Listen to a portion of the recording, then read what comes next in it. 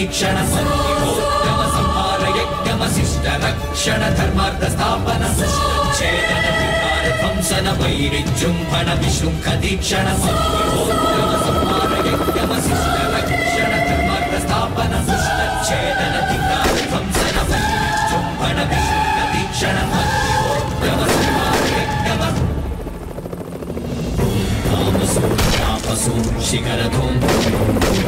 शिखरधूं ओजसो तेजसो विलयतुं तुं तुं तुं तामसो तापसो शिखरधूं तुं तुं तुं ओजसो तेजसो विलयतुं तुं तुं तुं तामसो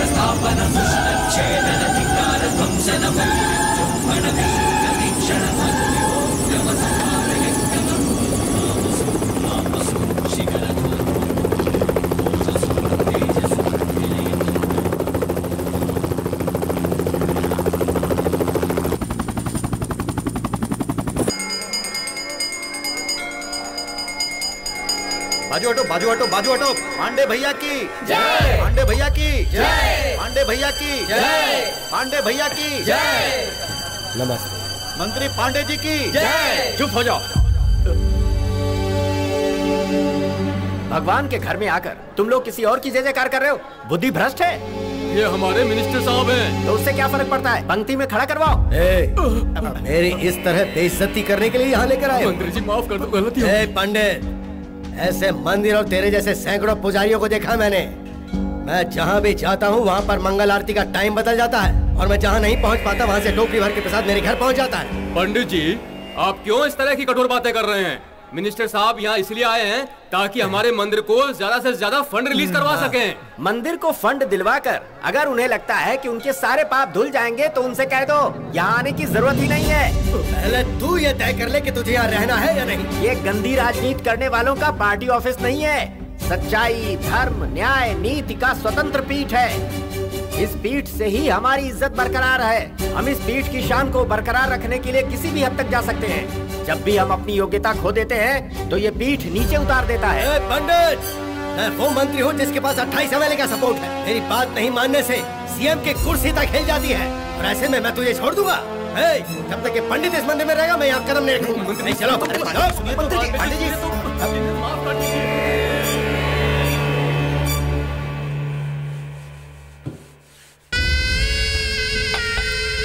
तो पंडित जानता नहीं कि मेरी पावर क्या है। वो ये बिल्कुल नहीं जानता कि मैं कौन हूँ। उसे ये भी नहीं पता कि कल पार्टी मीटिंग है। मैं सीएम से बात करके उस मंदिर को हमेशा के लिए बंद करवा दूँगा। मेरी बेइज्जती करने वाला वो पुजारी वो परमेश्वर का बच्चा अगर उसे भिखारी नहीं बनाया तो मेरा नाम भी पांडे नहीं। जी आप इतनी छोटी सी बात को इतना बड़ा इशू क्यों बना रहे हैं? देखो उस मंदिर का रख रखाव और पूजा पाठ जयदेव राम महाराज के जमाने से ताम्र पत्र में सुनहरे अक्षरों में उनके वंशजों को लिख कर दिया गया है। अपनी बकवास बंद करो। इसी जमाने में किसी ने लिख दिया तो क्या हुआ? आज इस देश में हमारा ही राज है। अरे हमें मानना ही पड़ेगा। देखिए ये सच है। हमारे देश को आज़ादी मिलने के बाद उस मंदिर को इंडोमेंटल में शामिल होने से रोक दिया गया। ये एक इतिहास में दर्ज हुआ पुण्य स्थल है। उसकी देखभाल वही करेंगे। इसकी इजाज़त उन्होंने कानून से ले ली है। तो तुम लोग क्या चाहते हो? मेरी बेइज्जती करने वाले को छोड़ दूँ? उससे बदला नहीं लूँ? ओह आपको इसके लिए कौन रोक रहा है? बस सही समय देखकर उस परमेश्वर पुजारी की गर्दन सर सर सर काट कर फेंक दूँगा। तुम क्या करोगे मुझे नहीं पता। लेकिन वो पुजारी दोबारा उस मंदिर में नज़र नहीं आना चाहिए ये मेरा फैसला है। ठीक है ठीक है जैसा आप चाहते हैं वैसा ही हो आप चिंता ना कीजिए। मिनिस्टर के साथ आपने जो किया वो बिल्कुल सही किया गुरुजी।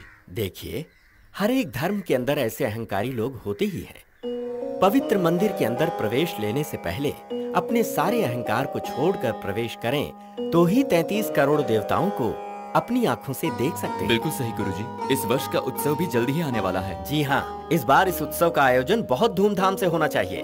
वो क्या है ना कि इस उत्सव में लाखों की संख्या में भक्त जन आने वाले हैं। उन सब के लिए भोज का प्रबंध भी उचित तरीके से होना चाहिए। किसी वस्तु की कमी नहीं होनी चाहिए। ठीक है गुरुजी।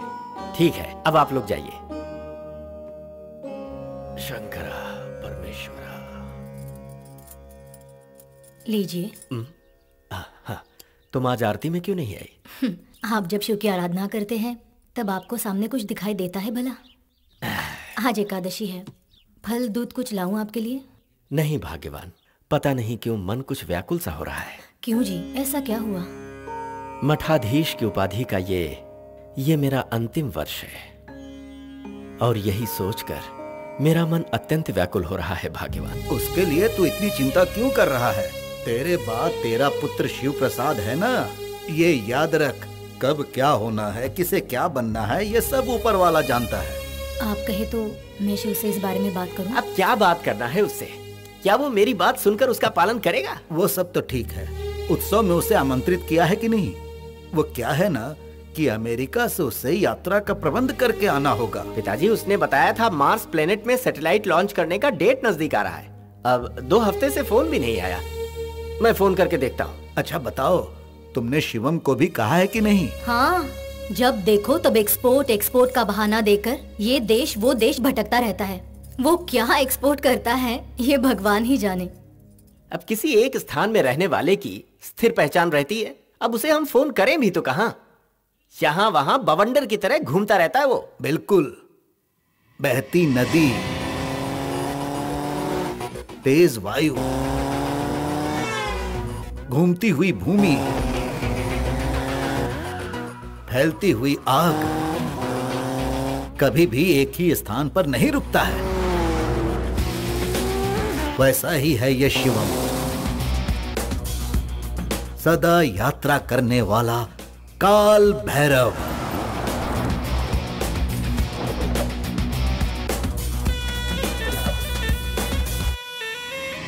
मुंबई में सीरियल ब्लास्ट कराने वाले मास्टरमाइंड अमनदुल्ला खान को सन 1985 में अरेस्ट किया गया था।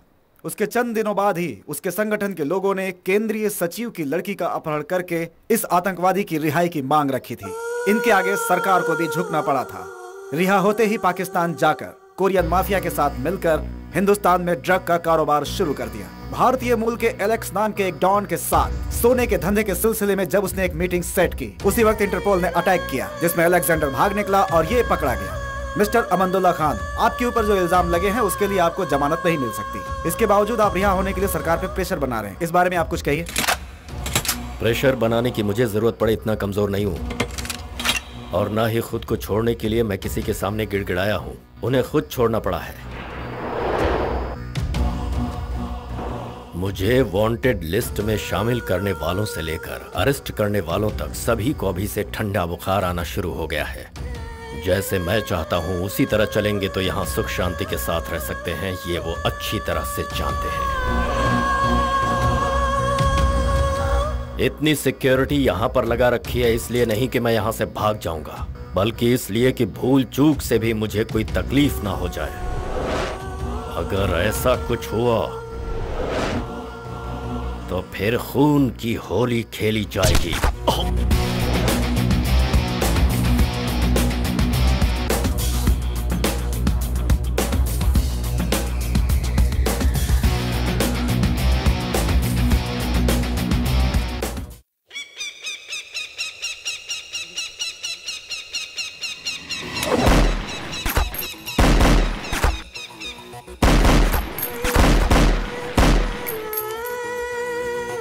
डबल गेम खेलकर चंद प्यादों को क्या मार दिया?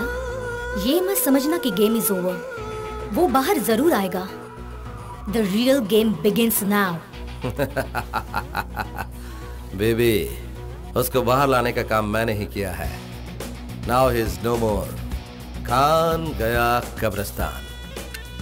तू एक लड़की है, इसलिए छोड़ रहा हूँ तुझे। जी ले अपनी ज़िंदगी।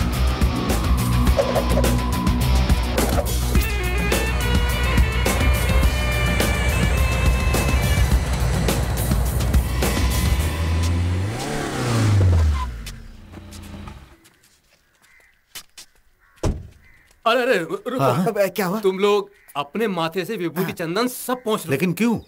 वो पक्का नास्तिक की औलाद है। माथे पर विभूति या टीका देख लेगा तो चमड़े के साथ खरोच कर निकाल लेगा। ऐसा है क्या? हाँ।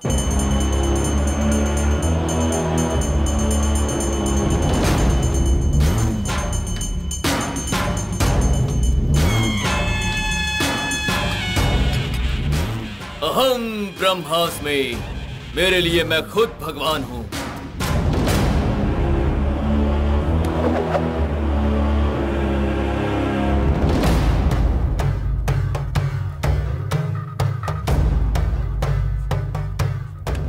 मुझे इस तरह से घूर क्या रहा है? बैठ जा। तुम ज़ोर ज़बरदस्ती करके जिस ज़मीन पर कब्जा करना चाहते हो वो कोई बेनामी ज़मीन नहीं है। वो प्रॉपर्टी मंदिर के नाम है। बिल्कुल नहीं। उस जमाने में उस वक्त के महाराजा ने मेरी परदादी को तोहफे में लिख कर दी थी वो ज़मीन। और उसके बाद महाराजा के सामने ही तुम्हारी परदादी ने वो ज़मीन मंदिर के नाम कर दी थी। ज़्यादा होशियार मत बन। चुपचाप उस ज़मीन को फिर से मेरे नाम कर दे। मैं ऐसा बिल्कुल नहीं करूँगा। क्या कहा? अगर तुझे यहाँ से ज़िंदा घर लौटना है तो उसका एक ही रास्ता है। सीधे से वो ज़मीन मेरे हवाले कर दे वरना अभी खत्म अभी।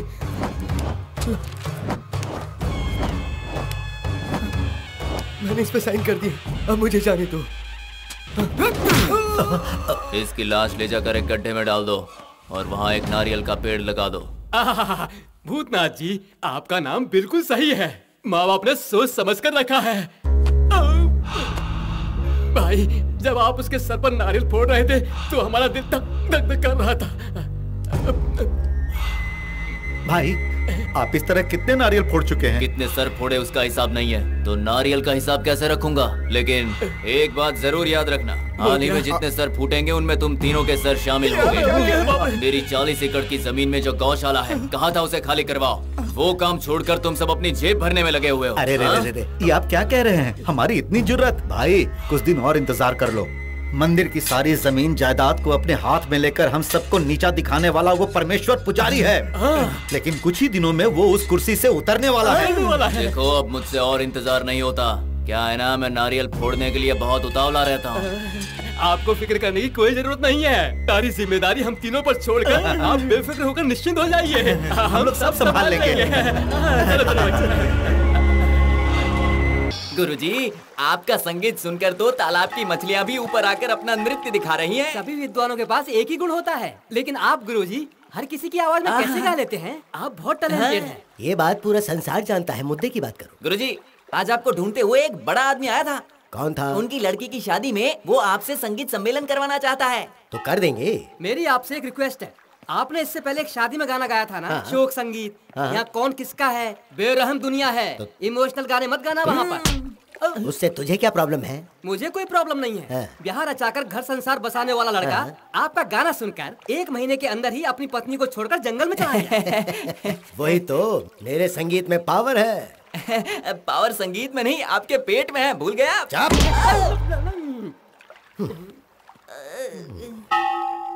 उस मंदिर के ज़मीन और हमारे भूतनाथ के ज़मीन के बीच में गौशाला एक बाउंड्री की तरह थी। बिल्कुल, बिल्कुल। हाँ? उल्टी सीधी तरकीबें आजमा के सारे जानवरों को कसाई खाना भिजवा दिया। सही ए, चल चल। अंदर ले चल। चल।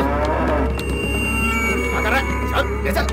आदाब भोलेनाथ!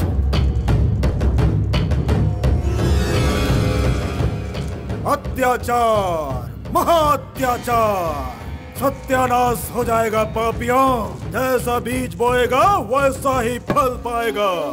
याद रखना, दूध देने वाली का रक्त बहाने वाले पापियों।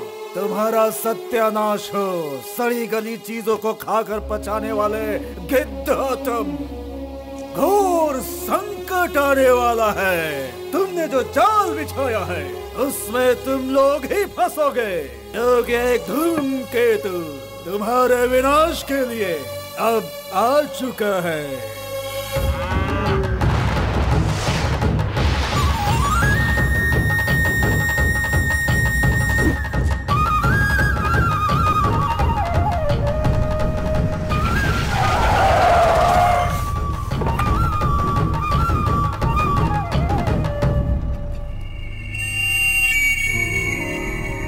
क्या है बे?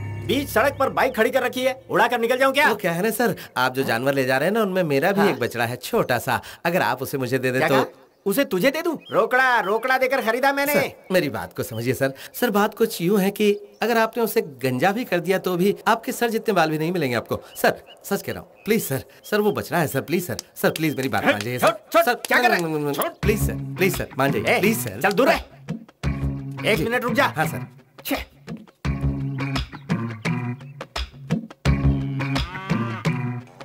क्या हुआ बेटा मैंने छोना। हाँ? क्या कहा? ये बात है? अच्छा छोना उन्हें भी छाछ में ले चलेंगे ओके? ये क्या किया तुमने? एक को कहा था तुमने सबको उतार दिया। हमने नहीं सबको इसी ने उतारा है। ए ऐसा क्यों किया? ए, दिखाई नहीं दे रहा मैं बात कर रहा हूँ छोना से। हाँ? अच्छा ठीक है हाँ, ठीक है ठीक है ठीक है ठीक है। ये क्या पागलों के जैसे इससे बात कर रहा है? इसकी बोली तुझे समझ में आती है? ए, क्यों नहीं समझ में आएगी? बिल्कुल समझ में आएगी। ये कह रहा है कि इसे माँ भी चाहिए। ए, अभी चल रास्ता ना आप। भाई क्या है ना? लगता है तुम भी अपनी माँ से बिछड़ कर लावारिस मैं लावारिस नहीं हूँ। हाँ तो ये भी लावारिस नहीं बनना चाहता। ओ हाँ तो बोलो माता। हाँ हाँ बोलो बोलो। हाँ तो ये बात है। ओहो ऐसा क्या? ठीक है ठीक है मैं बात करता हूँ okay? Don't worry don't worry ठीक है ठीक है इसकी माँ को भी ले जा। हाँ बात यह है कि हम दोनों के सौदे में एक छोटा सा चेंज आ गया अब है। कैसा चेंज है भाई? माँ अकेली आने को तैयार ही नहीं हो रही है। तो फिर ये क्या चाहती हाँ, है। हाँ, ये माँ जॉइंट फैमिली में पली बड़ी है। तो अब दीदी को दादी को नाना को नानी को काका को काकी को बुआ को फूफा को सबको ये अपने साथ ले जाना चाहती है। कंफ्यूजन ये है कि तुम इन सबको मुझे लौटाओगे या फिर नहीं। कह रहे हीरो अपन को धमकी दे रहा है। अब तो अपन तेरे को ही कसाई खाना ले जाएगा समझा? हाथ हटावे नहीं हटाया तो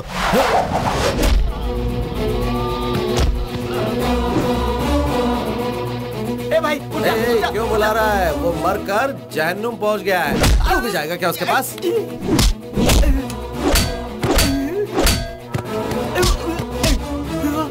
इन्हीं इन्हीं हाथों से इन्हीं हाथों से तू जानवरों को काटता है ना? इन्हें मैं तोड़ देता हूँ। भूल गया कि उसका दूध तू पीता है और अब उसी को काटने जा रहा तू हाँ? बेरहमी बेरहमी की हद पार कर दी है। इंसानियत नहीं है क्या? हाँ? अगर कल को तू बूढ़ा हो जाएगा तो तुझे भी कसाई को भेज दो? कसाई को? चुप क्यों हो गया? ए, इसी गाय का दूध पिया ना तूने? तुझे तो इसका एहसान मानना चाहिए। याद रख जो गाय है ना वो भगवान है और उसे मारने वाले ए, कान खोल कर सुन लो शाम होने से पहले सारी गायें गौशाला पहुँच जानी चाहिए। समझे कि नहीं?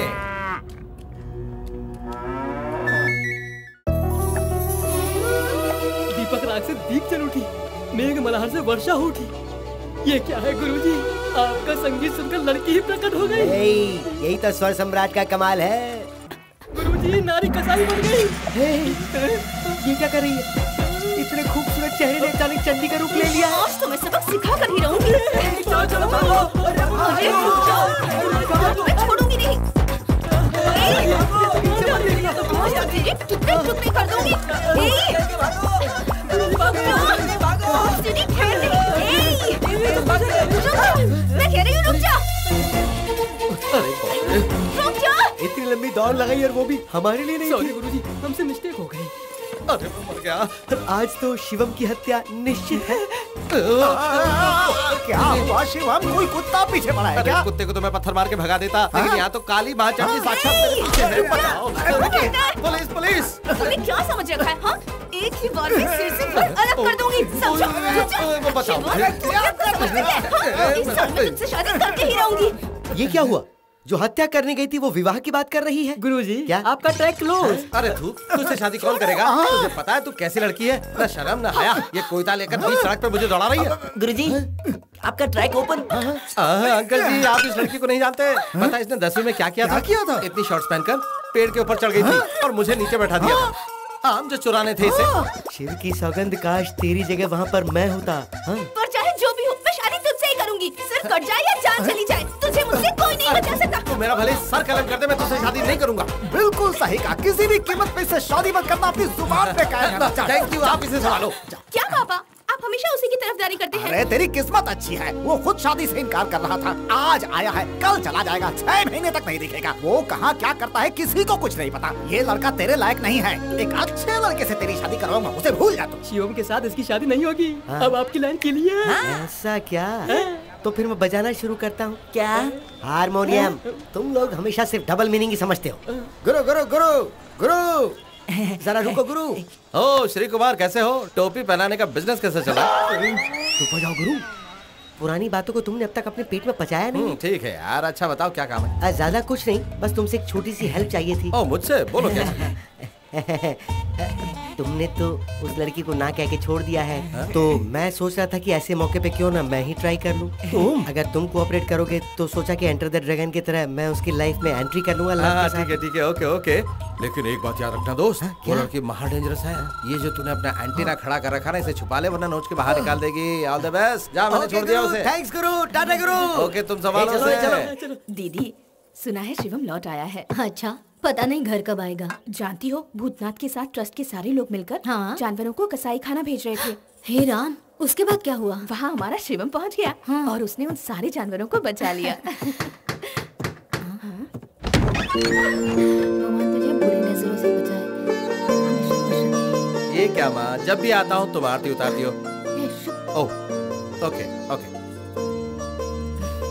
हम्म इसे ले जाओ। जाओ जाओ जल्दी नहा कराओ। मैं तुम्हारे लिए खाना परोसती हूँ। खाने में तुमने हलवा पूरी तो बनाया ना? मुझे पता है तुम्हारी मनपसंद चीज़ क्या है। मैंने सब वाह वाह वाह वाह है। इन हाथों से बनाया हलवा पूरी खाया मुझे अरसा हो गया। मैं पाँच मिनट में आता हूँ ठीक है? जा। भाई? Hello hi hi Pawan how are you hi चाचू। ये लो इसे खोलो और जो तुम्हें चाहिए वो ले लो ठीक है? थैंक यू क्या बात है मुझसे पहले यहाँ पहुँच गए? बस परसों इसका एग्ज़ाम खत्म हुआ और पापा ने कहा कि उत्सव आ रहा है तो आप लोग आ जाइए हम्म। तो हम जल्दी आ गए। हाँ गुड तू लास्ट मंथ अमेरिका आने वाला था। तो आया था या नहीं? कुछ पता ही नहीं चला। आया था लेकिन तुरंत लौट आया। तुमसे मिल नहीं पाया। सॉरी भैया। ये पहली बार नहीं है कि तू ऐसा कर रहा है। बेटा। Hi godfather how are you दद्दू। अरे बेटा। मेरा बच्चा शिवम। कैसे हो दद्दू? अरे मैं तो ठीक हूँ लेकिन तू ये बता कि तू सुबह आने वाला था तो इतनी देर क्यों हो गई? अब क्या कहूँ दद्दू? वो जो लड़की है ना हाँ? वो तो साक्षात काली का अवतार है। इतना बड़ा कोयता लेकर बिंदास होकर मेरी जान लेना चाहती थी वो। अरे बाप हाँ। ये क्या बेटा? तुम उसकी बुराई कर रहे हो? तुम तो उसकी जान हो। क्या कहा? जान हूँ। नहीं भागता तो बीच बाज़ार में मुझे टपका देती। हाँ वो तो अंकल आगे तो मैं बच गया। अब ऐसी लड़की से कोई शादी करेगा क्या? मुझे अपनी जान प्यारी है। हाँ, मतलब तुम्हें मंजूर नहीं हाँ, है। करेक्ट तो फिर ठीक है ये बात याद रखना।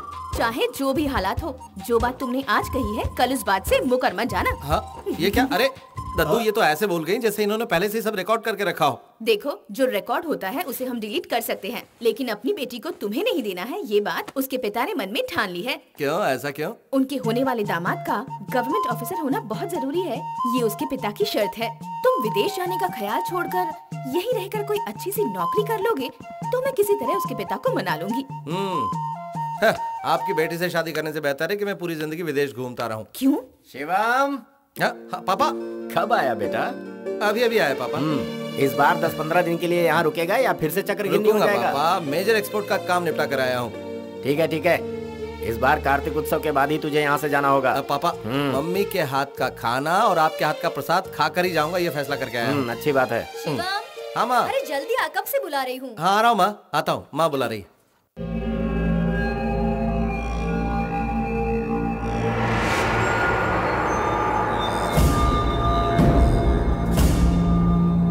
हमारे लिए क्या आदेश है?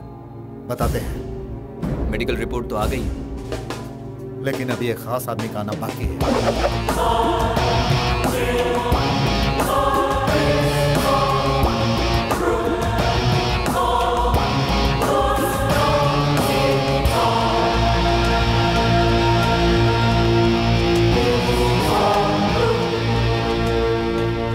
शुक्रिया मेरे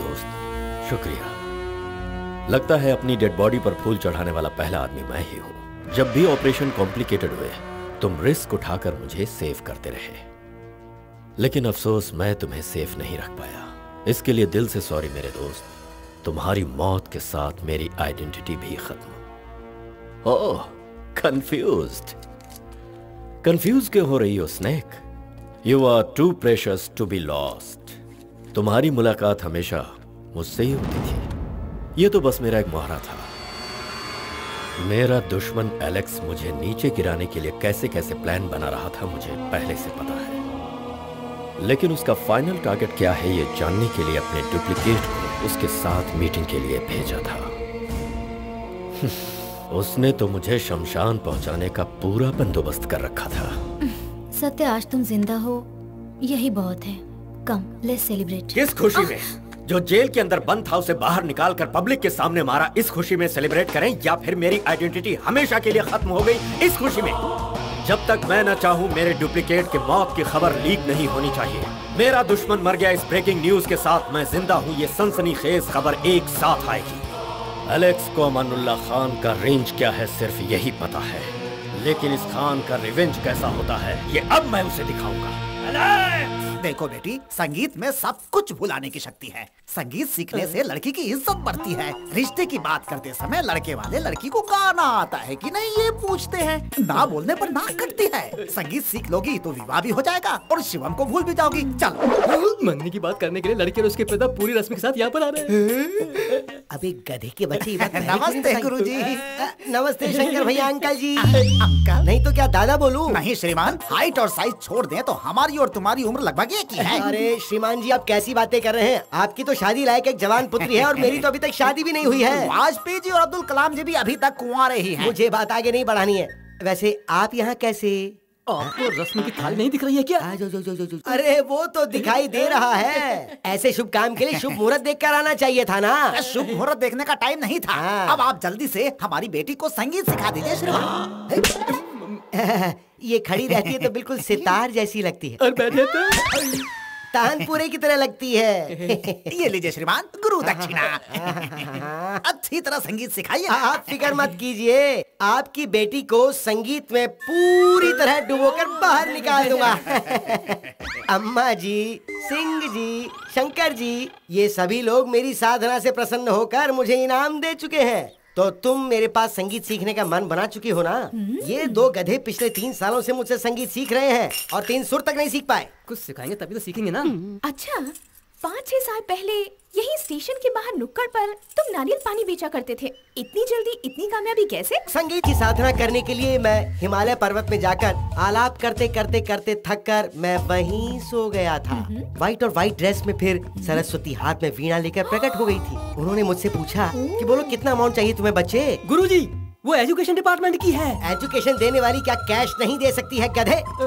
तब मैंने कहा कि मुझे संगीत के अलावा और कुछ नहीं चाहिए। तो उन्होंने लंबी जबान निकाली और बीज मंत्र मेरे मुँह में फूंक ये दिया तो था। कवि सम्राट कालिदास की कहानी लग रही है। तुम मेरा मज़ाक उड़ा रही हो तुमसे अच्छी तरह म्यूज़िक सीखकर मैं उसे खुश कर दूँगी। किसको? मेरे शिवम को। तुम उस शिवम को खुश कर सकती हो या मैं तुम्हें खुश करके जीतता हूँ ये तो वक्त ही बताएगा। ये देखो यहाँ अकेला बैठा है। अब मैं अपनी चाल चल देता हूँ। कैसे इंसान हो यार तुम? ऐसे घुरा रहे हो जैसे कोई जानवर घुरा रहा है। इतनी बुरी आवाज़ भी नहीं थी यार। और नहीं तो क्या पास आकर घर घर गेंडे की तरह घुरा रहा है? ये तीन पैक का असर है ना। पैक का असर है? क्यों बे भवानी ने अब तक तेरी मांग नहीं भरी क्या? वो तो किसी भी दिन भरवा लूँ हाँ। लेकिन उसके बाप के दोनों पैर मेरी छाती पे पड़े हैं। क्यों? ऐसा क्या हुआ? कल उस लड़की को देखने कोई लड़का और उसके घर वाले आ रहे हैं भाई। हाँ लेकिन मैं उसमें क्या कर सकता हूँ? अब तो सब कुछ तुम्हारे ही हाथ में है ना भाई। तो अब तेरी मांग मैं भरूं क्या? मेरी मज़ाक क्यों उड़ा रहे हो? फटाक से कोई आइडिया दो ना।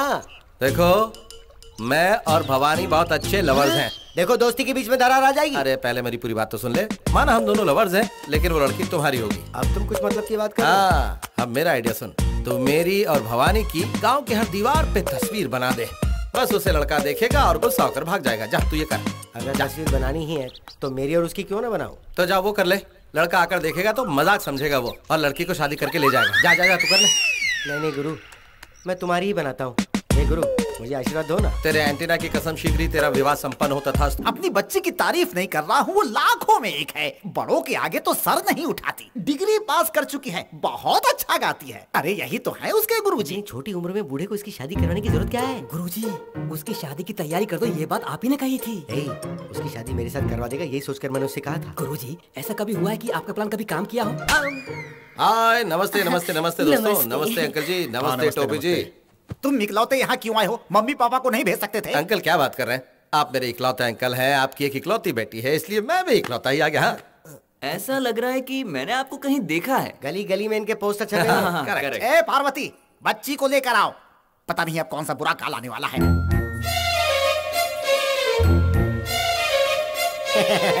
इन्हें भी मैंने कहीं अच्छा!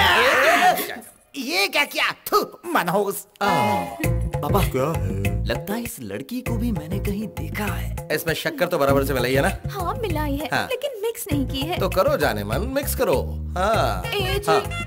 मेरी फिंगर छोटी है। ठीक है तो लाभ मैं करता हूँ ओके? हाँ, हाँ। ये तुम सबके सामने क्या कर रहे हो ये? अपना मुँह बंद कर मैं तेरे लिए काम कर रहा हूँ।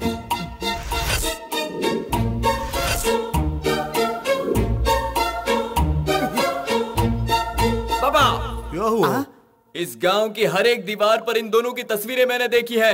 अब सब कुछ खत्म हो गया पापा। अरे ये तो क्या कह रहा वो है? जहाँ उंगली घुमा रहे हैं ना वैसे हमें भी घुमा रहे हैं। हाँ। दूध में। हाँ। किसी भी कीमत पर मैं इस बी ग्रेड मूवी से शादी नहीं करूँगा। चलो पापा।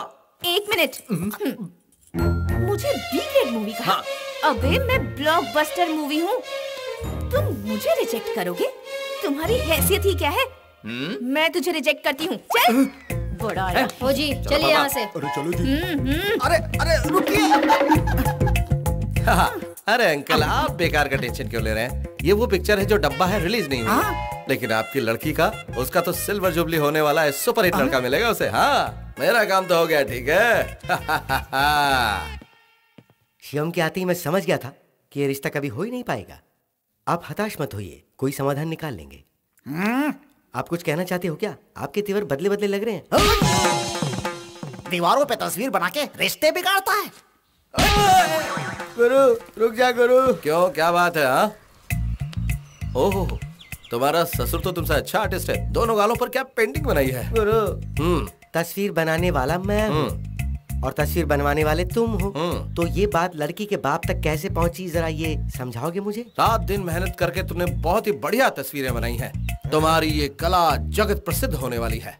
आठ बार श्री कुमार लिखकर सब दूर ऑटोग्राफ बना दिया है। कैसा है? तुमने तो मेरा नाम प्रसिद्ध कर दिया। तू मुझे बता उस लड़के ने तुझे रिजेक्ट क्यों किया? उसकी आँखें ठीक नहीं थी क्या? ओहो उसकी आँखें बिल्कुल ठीक थी इसीलिए ऐसा किया। क्यों? गाँव की दीवारों पर मेरी और शिवम की जो आड़ी तेरी तस्वीरें बनी थी वो उसने देख ली थी। वो किसने बनाई? और कौन बनाएगा? शिवम ने? हाँ उसी ने। वो है ना मुझे बहुत चाहता है इसीलिए ऐसा किया। लेकिन वो कभी जताता नहीं।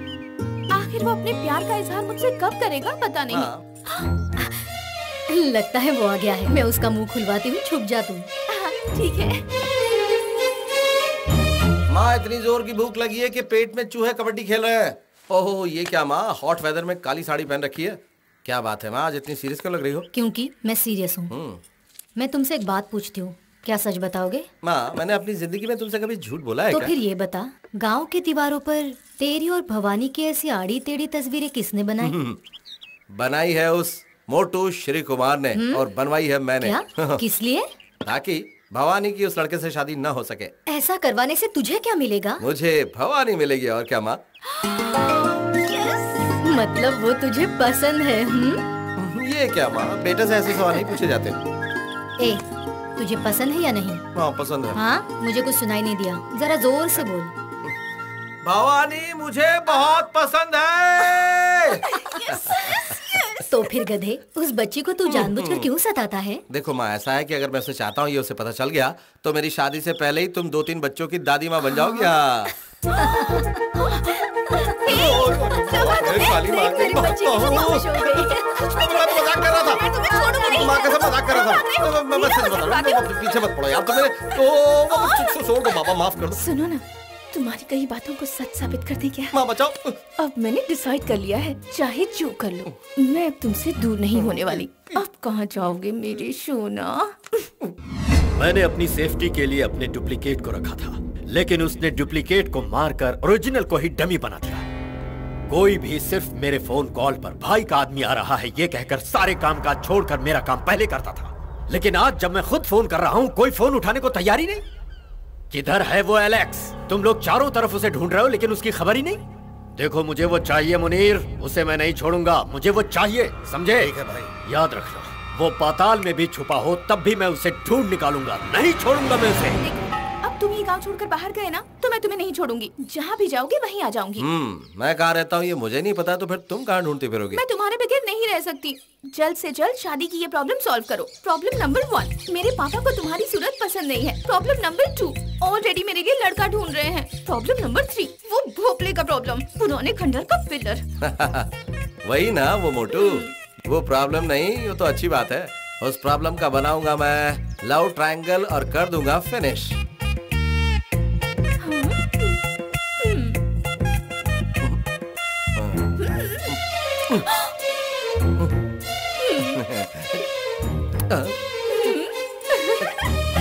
आज से आपका खाना पीना सब बंद।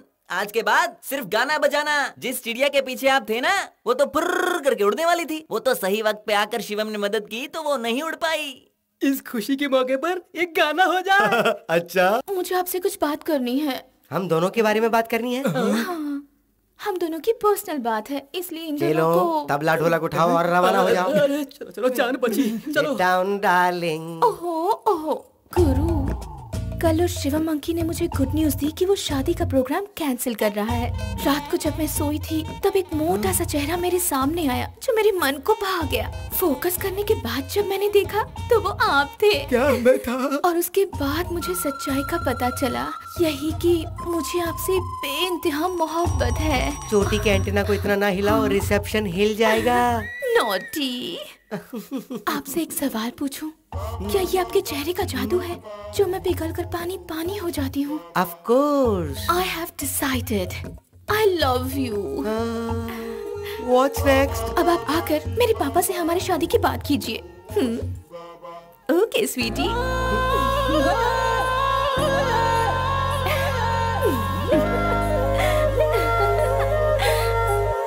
भवानी अब तक घर नहीं आई है। शादी के लायक हो गई है। फिर ये म्यूज़िक सीखने की क्या ज़रूरत? सोचा था संगीत सीख लेगी तो अच्छा लड़का मिल जाएगा लेकिन वो उसे तो लाज शर्म ही नहीं है तुम्हारी वजह से। ऐसा उसने क्या कर दिया? क्या कर दिया? जब भी कोई आता है गाय की तरह सिंग मारने दौड़ती है। मेरे जीते जी पता नहीं उसकी शादी होगी कि नहीं होगी। मरने की बात क्यों करते हो पापा? आपको इतनी जल्दी मरने की कोई ज़रूरत नहीं क्योंकि मैं ऑलरेडी अपने लिए लड़का सेलेक्ट कर चुकी हूँ। किसे? उसे शिवम को? छी! उससे शादी कौन करेगा? ना उसका सुर अच्छा है और ना ही वो संगीत जानता है। बिल्कुल सही कहा। अच्छा हुआ तेरे दिमाग से उसका भूत उतर गया। मैं बहुत खुश हूँ। वो लड़का कौन है बोल? अपने म्यूज़िक टैलेंट से सबके दिलों का टैलेंट बना हुआ वही मेरा फ़ेमस म्यूज़िक गुरु श्री सात सुरों का मालिक यानी सम्राट मेरा दिल जीत चुके हैं। अरे फूटी किस्मत हमारी। ये बच्चे अपना बचपना कब छोड़ेंगे? बड़ों की इज़्ज़त को भरे बाज़ार में नीलाम करते हैं। आप ही की वजह से हुआ है। इसके जिम्मेदार आप ही हैं। तुम किसे कह रही बता हो रही हूँ मैं आपको और सुना रही हूँ इसे। पर माँ मैं कमेंट कर चुकी हूँ अब क्या करूँ? अरे रे रे ये तो क्या कह रही है? गलत मत समझो मैं सिर्फ़ शादी करूँगी ऐसा ही कमेंट किया है। तुम्हें उसने क्या दिखाई दिया बेटी? प्यार अंधा होता है पापा। फुल साइज़ बलून है। उससे कोई फ़र्क नहीं पड़ता।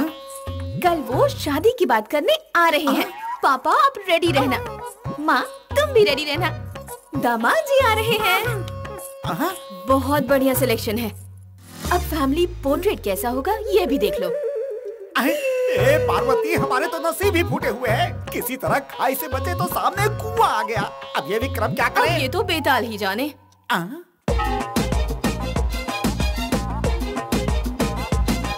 आपने मुझे अपने साथ लाकर यहाँ क्यों बिठाया है पापा? वो मेरे लिए घर में आकर इंतज़ार कर रहे होंगे। अरे मैं ये नहीं चाहता इसीलिए यहाँ लेकर आया हूँ। तू चुप बैठ। हाँ, ओहो, अरे ये अमंगल मंगल आपके समय यहाँ कैसे आ गया? अरे, इसे यहाँ किसने बुलाया? इन्हें यहाँ मैंने बुलाया है पापा। क्या कर दिया तुमने? चलो भागो यहाँ से। पापा रुको ना पापा एक मिनट। क्या बात है श्रीकांत अंकल यहाँ कैसे? क्या कहा अंकल? और नहीं तो क्या तुम्हें दादा कहूँ क्या? हेलो मैं तुम्हारी लड़की का पति तुम्हारा दामाद। मेरी लड़की का पति नहीं तुम काला कोयला हो। हाथ दिखाकर बात मत करो। कल इन्हीं हाथों से मेरा पैर धोकर कन्यादान करने के बाद अक्षत डालेंगे मेरे सिर पे। अक्षत मैं तेरे सर पे नहीं डालूँगा तेरे लाश पे डालूँगा तुझे जला दूँगा। सुन लो इन दोनों की शादी हरगिज नहीं होगी। ऐसा करने से पहले तुम्हें मेरी मर्ज़ी जाननी होगी। तुम्हारी मर्ज़ी जानकर क्या करना है मुझे? शादी करने वाली लड़की राज़ी है। हम दोनों शादी के लायक है तो फिर सोचना कैसा? क्या कहा? इससे शादी करोगे? क्या यार? नहीं नहीं। ये अब तक शादी के बिल्कुल लायक नहीं जबकि तुम तो शादी की उम्र पार कर चुके हो सच में। देखो भवानी इसे तो तुम्हारी है। क्या हुआ? छोड़ अरे ये कौन सी लैंग्वेज है? जर्मन लैंग्वेज है। जर्मन लैंग्वेज मुझे नहीं आती। चल मेरा हाथ छोड़ा। इधर आओ ना गुरु इधर आओ। गुरु अगर तुम ऐसा करोगे तो कैसा चलेगा? वो मेरी अकल मेरी शक्ल और मेरी पर्सनालिटी पे नहीं मर मिटी है गुरु। वो तो मेरी वॉइस वॉइस पे वॉइस पे मर मिटी है गुरु। वॉइस पर? हाँ। अबे गेंडे तुझे क्या लगता है कि तेरी वॉइस किस पर है? मैं नहीं जानता। ये ये क्या क्या? कर रहे हो? हाँ ये है ना गीत माला लोक गीत भक्ति गीत वेस्टर्न सॉन्ग सब कुछ इस वॉइस कंट्रोल म्यूज़िक प्लेयर पर भर के रखा ज़रूरत के मुताबिक सॉन्ग प्ले करके उसके साथ लिप सिंक करके तू लोगों को टोपी पहनाता है? तेरे पेट पे बंधी है आईपॉड टेक्नोलॉजी चोटी में लगा हुआ ये जीपीएस एंटेना। और कान में मिनी स्पीकर बूम बैग्स इन सबसे तू लोगों को बेवकूफ़ बनाता है। ए, अगर ये बात मैंने उसे बता दी तो सोच तेरे साथ क्या होगा? पूरे गाँव में दौड़ा दौड़ा कर मारेगी। सोच ले उसके बाद तेरा धंधा भी चौपट हो जाएगा। भिखारी भिखारी की तरह तू दर दर की ठोकरे खाता फिरेगा। नहीं नहीं गुरु प्लीज़ रोजी रोटी के लिए ये सब कर रहा हूँ ऐसा मत करना। इस राज को राज़ी रहने दो ना प्लीज़ ज़िंदगी प्यारी है कि मोहब्बत प्यारी पहले ये फैसला कर ले। ज़िंदगी प्यारी है। वैसे मैं थोड़ा रिस्क ले सकता तो फिर हूँ। मैं बता देता हूँ मुझे क्या? नहीं गुरु। जान है हाँ। तो ही जहान है। हाँ चलो। हाँ। वो क्या है ना अंकल जी? ये तो अभी छोटा सा बच्चा है। इसकी उम्र ही क्या है? और संगीत में तो बहुत ही साधना की ज़रूरत होती है। अगर अभी से इसकी इससे शादी हो गई तो फिर इसकी साधना पूरी तरह भंग हो जाएगी ये ख्याल इसको आया है ना? जरा बता दे। देवी आज के बाद हम दोनों का रिश्ता गुरु और शिष्य का है। तो फिर मेरे प्यार का क्या होगा? मेरा ये हाल करने वाला ही तुम्हें सही रास्ता दिखाएगा। अंकल जी। तो फिर शादी के इरादे का क्या हुआ? ट्रायंगल पे गेम सक्सेस पांडे भाई हमारा वो बीस एकड़ ज़मीन वाला काम जो अटका है, उसे पूरा कर दो ना भाई। तुझे बैठे बैठे वही याद आया है क्या? समझ हो गया। अब टेंशन मत ले। ये बताओ कि नई खबर क्या लाए? पांडे भैया जी मंदिर का उत्सव नज़दीक आ रहा है। हर साल आपके दिए हुए डोनेशन से ही आसपास के दस गाँवों को बुलाकर पेट भर भोजन का प्रबंध आज तक करते आए हैं। उस मंदिर में फूटी कौड़ी नहीं देने वाला मैं। मुझे मंदिर में आने से मना किया उसने। सैकड़ों लोगों के सामने मेरे दिए डोनेशन को उस पुजारी ने धिक्कारा था।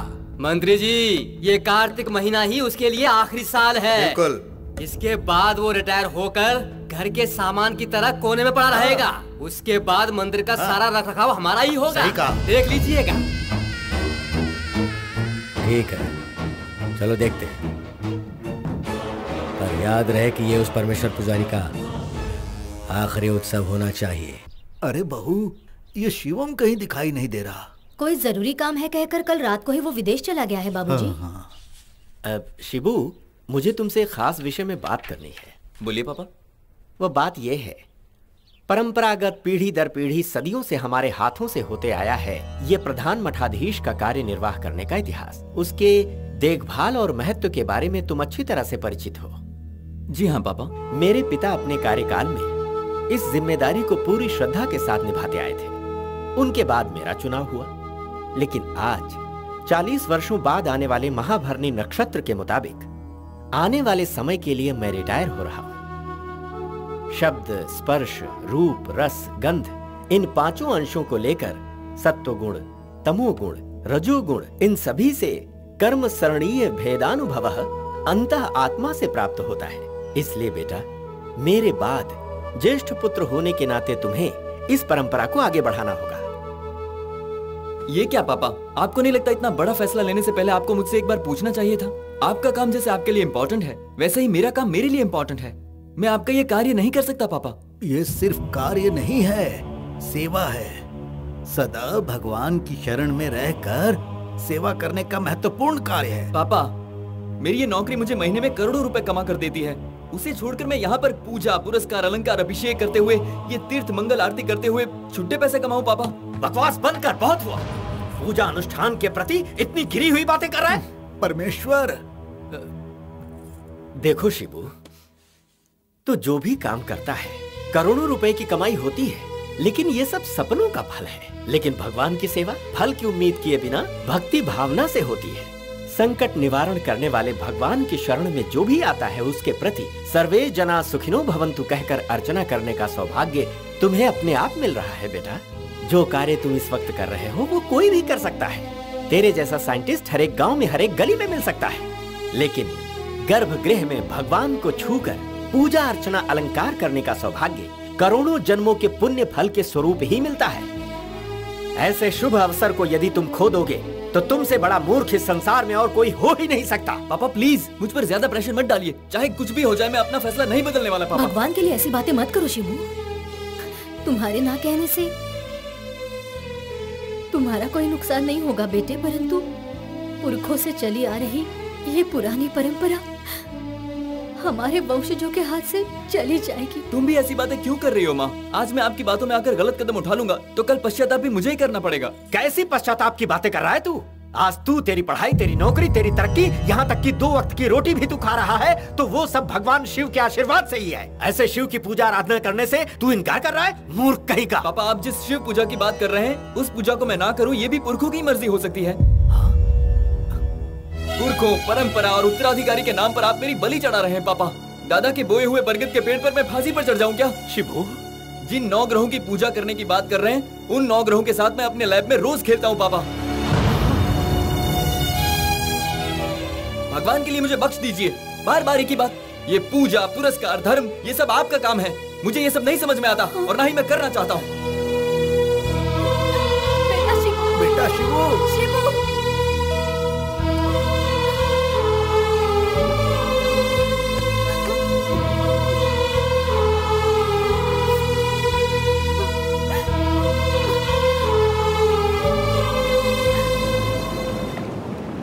Alex sorry to disturb you on your holiday Khan के साथ उसके पूरे गैंग को फिनिश करके तुम्हारे इंडिया जाने के बाद, यहाँ ब्यूरो ऑफ़ लैंड मैनेजमेंट के हिसाब से बड़े पैमाने पर फिर से ट्रक का धंधा शुरू हो चुका है। इस बार इस धंधे को किसी और ने टेक ओवर किया है। उसे खत्म करने के लिए ही तुम्हें यहाँ फिर से बुलाया गया है। माफिया नेटवर्क कुछ अलग तरह से काम करता है। किसी और धंधे में जब नंबर एक का आदमी नीचे आता है, तभी दूसरे नंबर का आदमी उसकी जगह पर पहुँचता है, लेकिन यहाँ पर इंतज़ार नहीं किया जाता, बल्कि बंदूक की नोक पर जगह हासिल की जाती है। जो पहली गोली चलाता है, जीत उसी की होती है। इसीलिए मैंने उसे बाहर निकाला और जहन्नुम भेज दिया। खान की जगह खाली होने के बाद नेटवर्क का फिर से इतने थोड़े समय में चालू हो जाना इसका सिर्फ़ एक ही मतलब है। कोई और है जो खान की जगह पर पहुँच चुका है? Yasmin, Yusuf, Ayesha, Zafar and Nuru. ये लोग हर महीने 50 से 60 टन ड्रग्स अमानुल्ला खान से खरीदा करते थे। हमें उन्हें ढूंढना होगा और उनका सफाया करना होगा।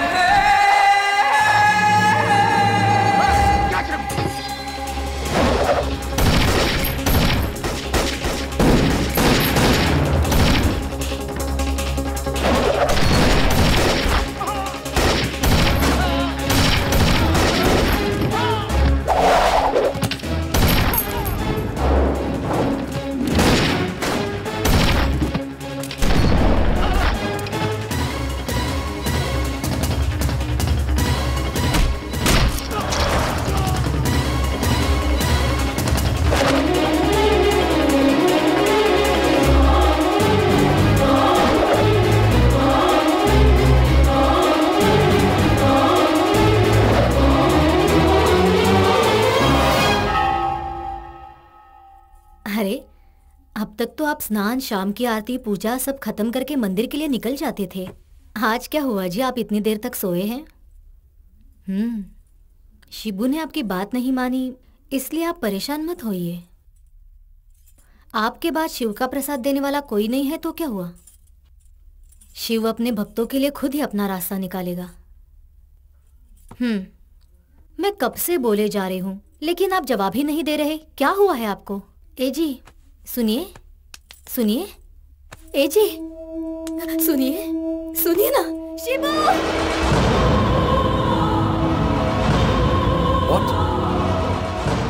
रुद्र शरीर से मुक्त हुआ जीव आत्मा देरी और प्रस्थान कर चुका है उसे तू मुक्ति दिला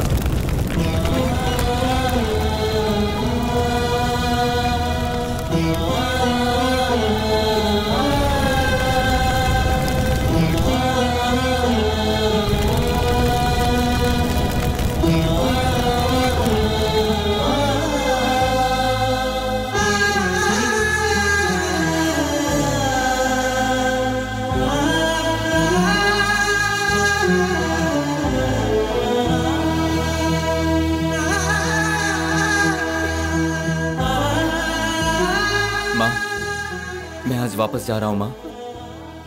यहाँ की सारी विधि संपन्न करने के बाद तुम भी मेरे पास आ जाना, माँ। पापा नहीं रहे तो तुम यहाँ रहकर क्या करोगी, माँ? दद्दू, आप इन्हें समझाते क्यों नहीं? अगर माँ मेरे पास आ जाएँगी तो इन्हें अपने दुख दर्द से छुटकारा मिल जाएगा। हमारी सोच जैसा अगर सब कुछ होता तो दर्द से हर किसी को छुटकारा मिलता। संसार में हर कोई हँसी खुशी के साथ जीवन बिताता। ये सब कुछ छोड़कर तुम्हारे साथ आना हमारे लिए बिल्कुल मुमकिन नहीं। इतने सालों तक यहाँ रहे हम इस मंदिर और जगह को नहीं छोड़ सकते यही हमारा अस्तित्व है। तेरे पिता को गुजरे हुए अभी तीन दिन भी नहीं हुए और तू अपने फ़र्ज़ को छोड़कर जाने की तैयारी कर रहा है। वहाँ सैटेलाइट लॉन्च होने वाला है दद्दू। मेरा जाना ज़रूरी है। देखो बेटा पिता के वचन का पालन करने के लिए वन में गए श्री राम जी जैसा तो तू नहीं बन सकता। माता पिता को कंधे पर ले जाने वाला श्रवण कुमार जैसा महान बेटा भी तो तू नहीं बन सकता। बेहतर है कि तू चला ही जा।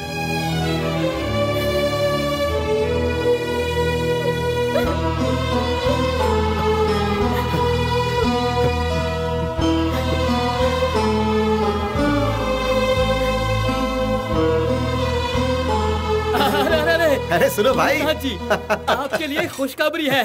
वर्षों से जो आपका दुश्मन बना बैठा था हाँ? वो परमेश्वर पुजारी सीधा हाँ? कैलाश चला गया। इतना ही नहीं उसके बाद उसका उत्तराधिकारी बेटा ये कहकर विदेश चला गया कि मुझे इस झमेले में नहीं पड़ना है। इतना अच्छा मौका हमें अपने हाथ से जाने नहीं देना चाहिए। छीन लेना चाहिए उसे।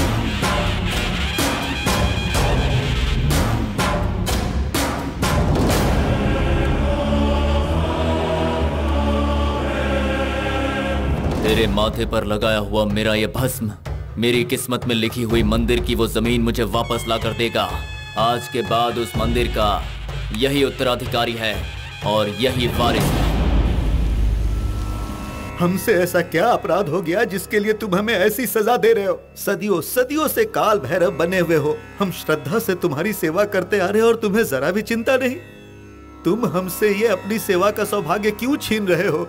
बताओ भगवान बताओ। अब तुम ही हमें कोई रास्ता दिखाओ।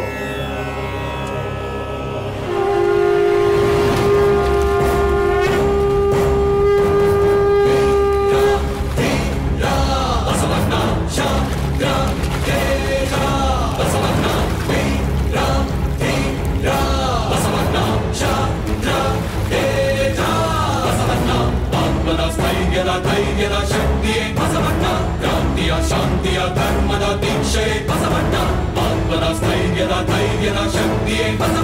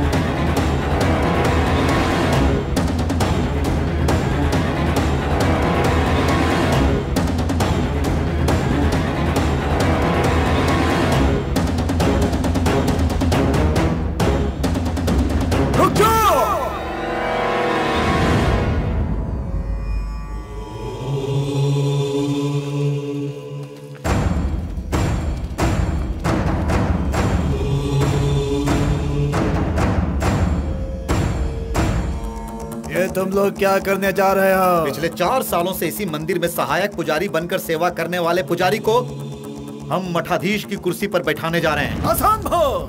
वो कार्य इनके वंशजों का है। पुराने मठाधीश का पुत्र हुआ तो क्या हुआ? हम इससे अपना मठाधीश नहीं मानते। इसमें उस पद के लिए कोई योग्यता है क्या? मैं ही अगला बार इसमें ऐसा कोई दावा ठोकने के लिए। ये कोई तुम्हारे पूर्वजों की जागीर नहीं है। सिर्फ़ जागीर की बात होती तो मैं उसे छोड़ देता। ये अस्तित्व की बात है। हमारे पूर्वजों का अस्तित्व। उस स्थान में बैठने के लिए तेरी क्या औकात है? तुझमें क्या योग्यता है? तुम्हें क्या जानना है पूछो ऐसा क्या? गुरुजी सारी जनता के सामने ये परीक्षा हो जाए। अभी की अभी फैसला हो जाएगा।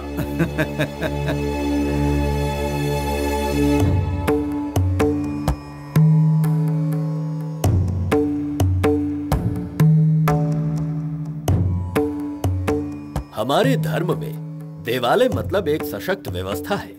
यहाँ सिर्फ़ विश्वास पर ही सब कुछ नहीं चलता। मुख्य द्वार से लेकर गर्भगृह तक, हमारे कुल देवता से लेकर अंतिम पंक्ति तक पग पग पर नियम शास्त्र का अंश होता है। दैवीय शक्ति को केंद्रित करने के लिए सिर्फ़ मान लेने या भावना को पालना ही काफ़ी नहीं होता। उसके लिए ऋषियों के दिए हुए ज्ञान की प्राप्ति होनी चाहिए। अर्चना करने वाले की प्रार्थना अगर सही है तो तबेले का पत्थर भी शिव बन जाता है। लेकिन पूजा में अगर रत्ती भर भी चूक हो तो शिव को शिला बनते देर नहीं लगती। हम्म, संसार के मोह माया में भटके हुए तुम हज़ारों साल का इतिहास रचने वाले इस मंदिर में किस तरह मठाधीश का कार्य संभालोगे?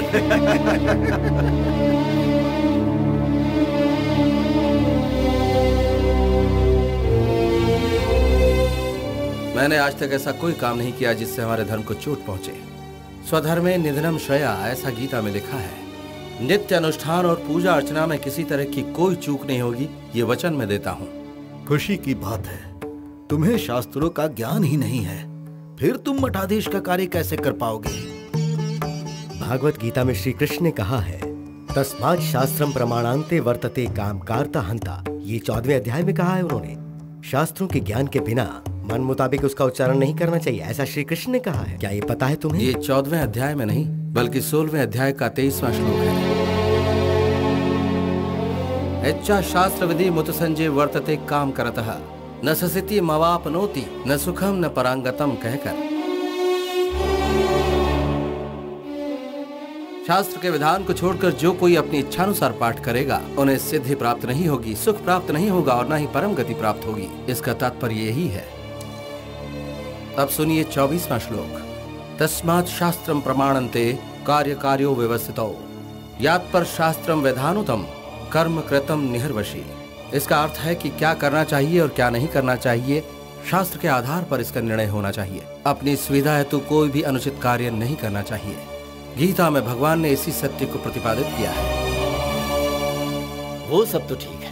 सही कर्मों को कौन सा धर्म शास्त्र प्रमाणित करता है? क्या तुम्हें पता है? उस शास्त्र में विशेष तीन विधियाँ हैं। निगम, आगम, स्मृति। निगम का मतलब है वेद, आगम का मतलब है धर्मशास्त्र। स्मृति का मतलब है मंत्र, तंत्र, विज्ञान। सारे कर्मों का निर्माण, प्रतिस्थापना, अर्चना, सारे विधि विधान आगम शास्त्र के अनुसार ही होने चाहिए। निगम मंत्रों का उच्चारण अगम जैसा ही होना चाहिए। जिस कार्य का निर्माण अगम शास्त्र के अनुसार हुआ है, उसी विधान के अनुसार पूजा अर्चना होनी चाहिए। हमारा देवालय शिवालय के अनुसार ही बनाया गया है। और हमारे शिवालय मुख्यतः 28 प्रकार के होते हैं। कारण कामिका योग चित्त दीप, सूक्ष्म, सहर्षरा आदि आदि। हमारा मंदिर कारण कामिका पद्धति से बना है। उसके लिए माता की आराधना और श्री चक्र की स्तुति श्री विद्या के संप्रदाय के अनुसार ही होनी चाहिए। शिव के अनुसार पंच ब्रह्मा मतलब कौन है? शिव का पंचमुख भी पंच ब्रह्मा है। उनके नाम है सद्य ज्योता वामदेव अघोर तत्पुरुषा ईशान। और इन पाँच मुखों से ही न म शी वा यह नमः शिवाय से ही पंच अक्षर मंत्र उत्पन्न हुआ है। इन पाँचों मुखों को चैतन्य देने वाला शिव ही पंचमुख होकर संसार का नायक है। अच्छी बात है। और एक छोटा सा प्रश्न। शिवम राज कौन है? कोई गले नहीं किसी का वध नहीं असत्य वचन नहीं। कोई अहंकार नहीं किसी का उपहास नहीं।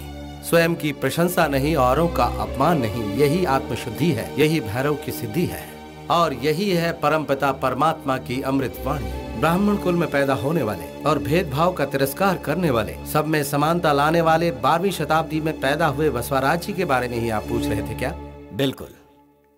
सनातन धर्म ने ही मूर्ति को पूजने के प्रथा की शुरुआत की थी। तब से शिव के आगे बैठे हुए हैं नंदी महाराज। उसके बारे में बताओ। नंदीश्वर, शिव पुराण के अनुसार शिला के आगे बैठकर तपस्या करने के फलस्वरूप शिव के ही अंश से अवतरित हुए हैं। ऋषि मुनियों के वेद वाक्य के अनुसार ही धर्म के चार स्तंभ हुए हैं। सत्य, अहिंसा, शुचि धर्म पद संपादन, इन चारों स्तंभों पर ही धर्म की सच्चाई टिकी है। इन्हीं ने हम सबको ज्ञान दिया है।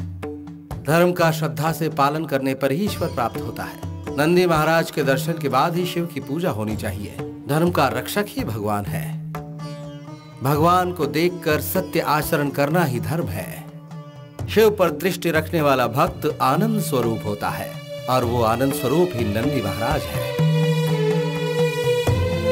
मानता, भस्म धारण तीन रेखाओं में ही क्यों होता है? उसे आड़ा खींचने का कारण क्या है? अग्निमिति भस्म चल चलमिति भस्म स्थल स्थलमिति भस्म भस्म व्योमिति भस्म जैसे वेद मंत्र भस्म को स्थापित करते हैं। अग्नि सारा भस्म वर्चस्व को, तेज को, आयुष, रक्षा, पवित्रता और शांति प्रदान करता है। भस्म भाषणात् भसितम प्रोक्तम, भक्ष किल भक्ष भक्षणात्, इसका अर्थ स्मृति व्याख्या। प्रकाश स्वरूप, पाप का नाश करने वाली है भस्म। ओमकार में आकार ओमकार मकारों को ऋग्वेद, साथ ही यजुर्वेद और सामवेद को ब्रह्मा, विष्णु, महेश्वर जी का प्रतीक मानकर भस्म की तीन रेखाएँ माथे पर लगाई जाती हैं। माथे की लिखावट को शुभ बनाकर उसे परिवर्तित करने की शक्ति भस्म में होती है। आने वाले संकट का संकेत होता है। ललाट की रेखाओं के अनुसार ही भस्म को भी आड़े रूप में लगाया जाता है। जयस्तु अधर्मनाशस्तु शिवो रक्षितो, शंभो शंकर, हर हर महादेव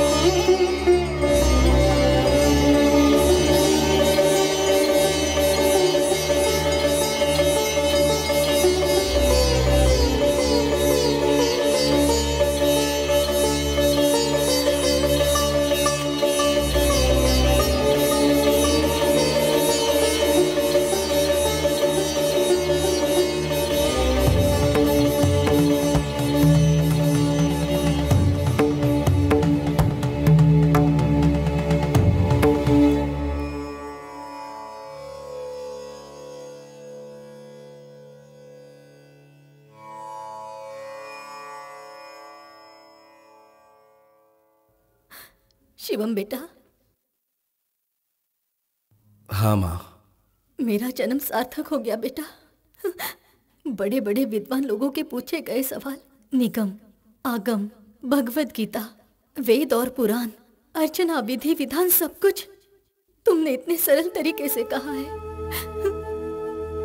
इसका मतलब भगवान शिव ने ही मेरी कोख से जन्म लिया है। आज मैं धन्य हो गई बेटा। माँ, तुम ही मेरी प्रथम गुरु हो। जब तुम तुलसी तुलसी, दुर्गा, भद्रा कहकर वृंदावन की परिक्रमा करती थी, तब मैं तुम्हारी हर बात सुनता था। जब मैं तुम्हारी गोद में बैठता था, उस समय तुम्हारी सुनाई पौराणिक कथाएँ मुझे आज तक याद है। दद्दू मुझे अपने सामने बैठाकर गीता का सार, वेद उपनिषद, शिव पुराण सुनाते थे। मैं खेल खेल में ही उसे याद करता था, माँ। दद्दू संध्या के समय मुझे गायत्री मंत्र सुनाते थे, जिसे मैं कविता की तरह याद कर चुका था। संसार के किसी भी कोने में जाता हूँ वहाँ पर भी मैं संध्या वंदन करना कभी नहीं भूलता, माँ। हमारे पूर्वजों का वो मंदिर हमारे लिए अमूल्य धरोहर है और शिव की सेवा ही हमारा धर्म है।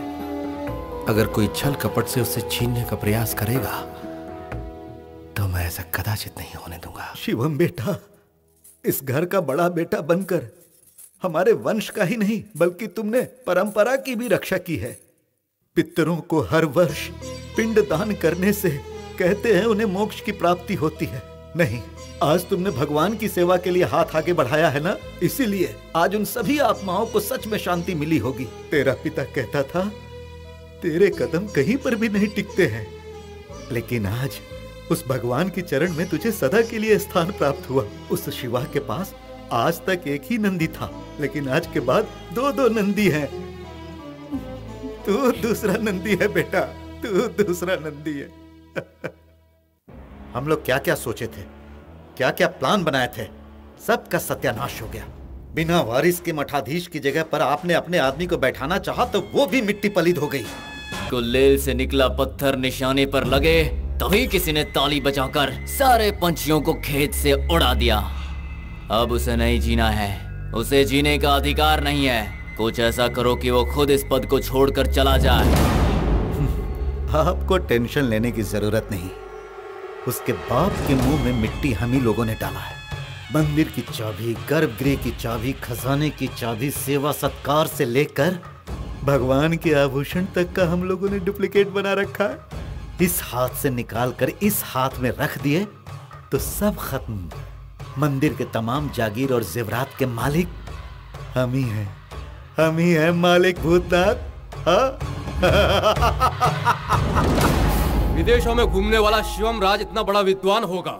ये बात मैंने कभी सपने में भी नहीं सोची थी। वो अपने बाप से भी दो कदम आगे है। सही कहा। तुमने देखा नहीं इतने साल इस गाँव से दूर रहने के बावजूद वो कैसे उस दिन पैक पैक पैक पैक कर रहा था? जो भी हो अभी हमें थोड़ा सतर्क रहने की ज़रूरत है वरना पासा कहीं उल्टा ना पड़ जाए। बिल्कुल सही। जब तक परमेश्वर पुजारी ज़िंदा था तब तक हम में से किसी को भी चैन से नहीं रहने दिया। उसके मरने के बाद ऐसा लगता है चोरों ने सीसीटीवी कैमरा ही चुरा लिया।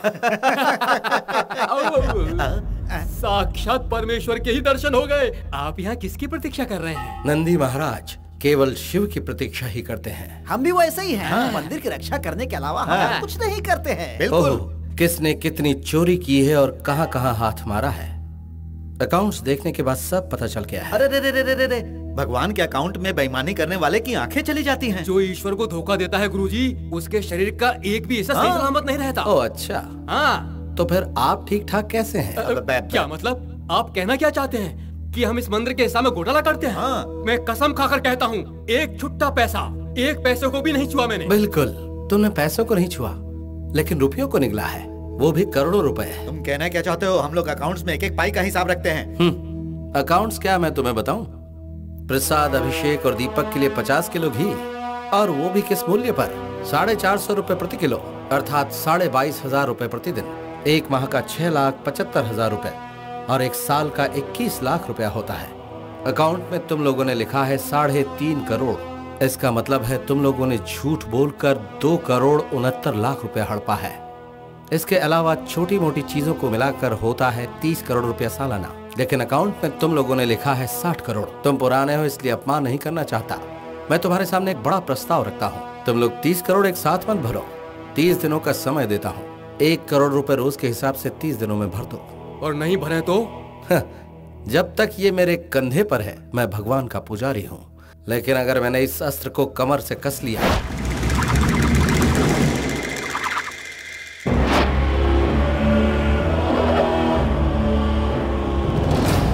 तीस करोड़। तीस दिनों में चुका दो ऐसा हम सबको धमकी देकर गया है वो। खुशियाँ मनाओ कि अब तक वो सिर्फ़ अकाउंट की फाइलें देख रहा है। अगर उसने हमारी पुरानी फाइलें खोल दी ना तो हम तीनों जन हर हर हर महादेव के पास पहुँच जाएँगे। अभी अभी तो उसने भगवा कपड़े कंधे पे डाला ही है। पाताल चले जाए तो भी नहीं छोड़ने वाला है वो। हमारी भलाई इसी में है कि हम टाइम पे पैसा लौटा दें। hey, तुम्हारा दिमाग खराब हो गया है क्या? पहले तो शाम से कहता था हम इन्वेस्ट करेंगे उससे हम करोड़ों कमाएँगे बड़े बड़े कॉम्प्लेक्स बनाएँगे इसीलिए हमने सारे पैसे इन्वेस्ट कर दिए। नहीं दिए तो वो क्या बिगाड़ लेगा? उसे उसके बाप के पास भेज दिए तो अपने चेले लोगों को खंबा पिलाकर छोड़ दूँगा और चखने के लिए उसे पेश करूँगा। तो मेरे चेले लोग उसकी बस हड्डियों का टुकड़ा छोड़ेंगे। हड्डियों का टुकड़ा ही चाहिए।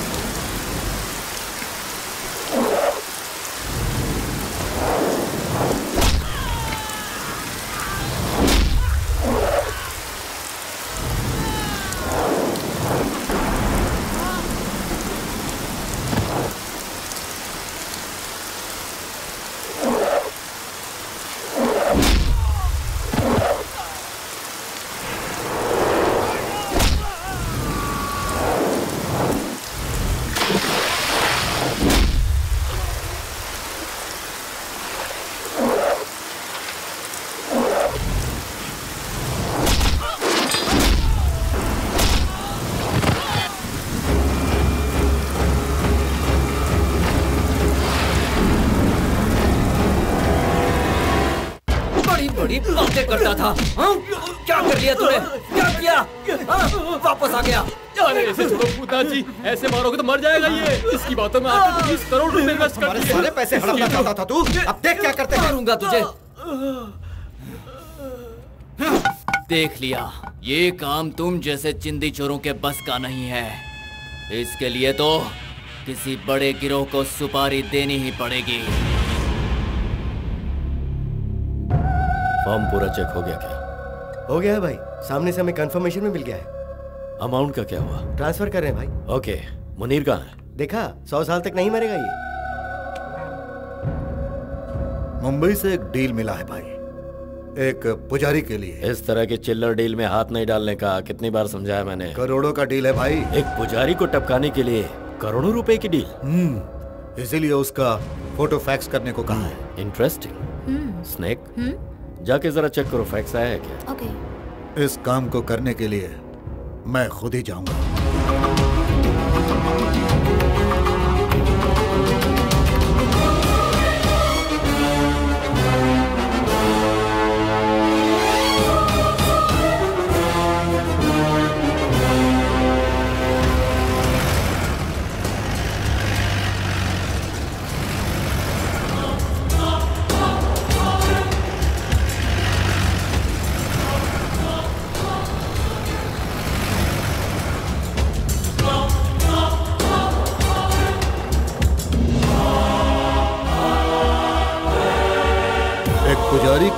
को लिए हमारे धंधे में पहली बार करोड़ों की सुपारी मिली है। निशाना चूकना नहीं चाहिए। निशाना सीधे उसके सर पर लगाना। जरा हम भी तो देखें, ये करोड़ों की चीज़ है कौन?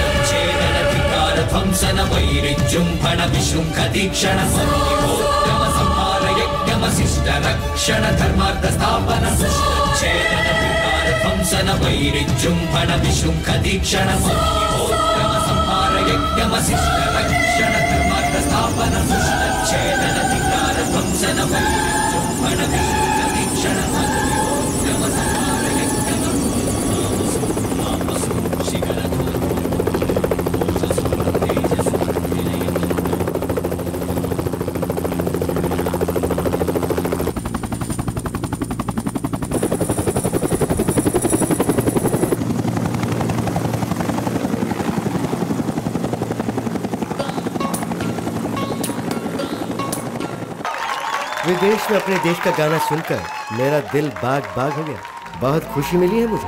आपकी तारीफ़? मवाली बॉय। तुम अपनी खुशी के लिए गाती हो या फिर महफिल की खुशी के लिए? दोनों के लिए।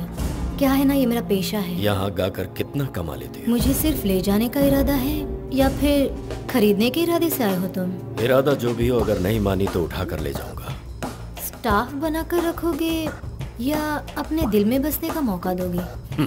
मेरे दिल में पैसे रहते हैं। चाहो तो उनके साथ खेल सकती है। बोलो चिल्लर में खेलोगी या लाखों में? ऐसा क्या काम करते हो जो इतनी कमाई है? लोगों की ज़िंदगी का सौदा करता हूँ। तुम नहीं समझोगे। क्यों?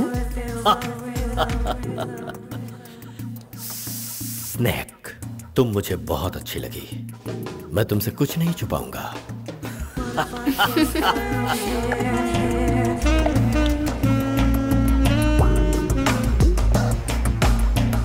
dance rhythm.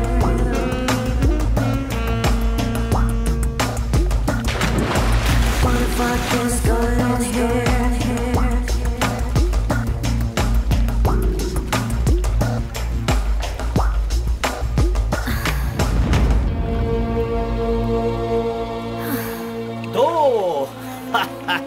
come on, come on, come on, come on, come. Four, four, four, four.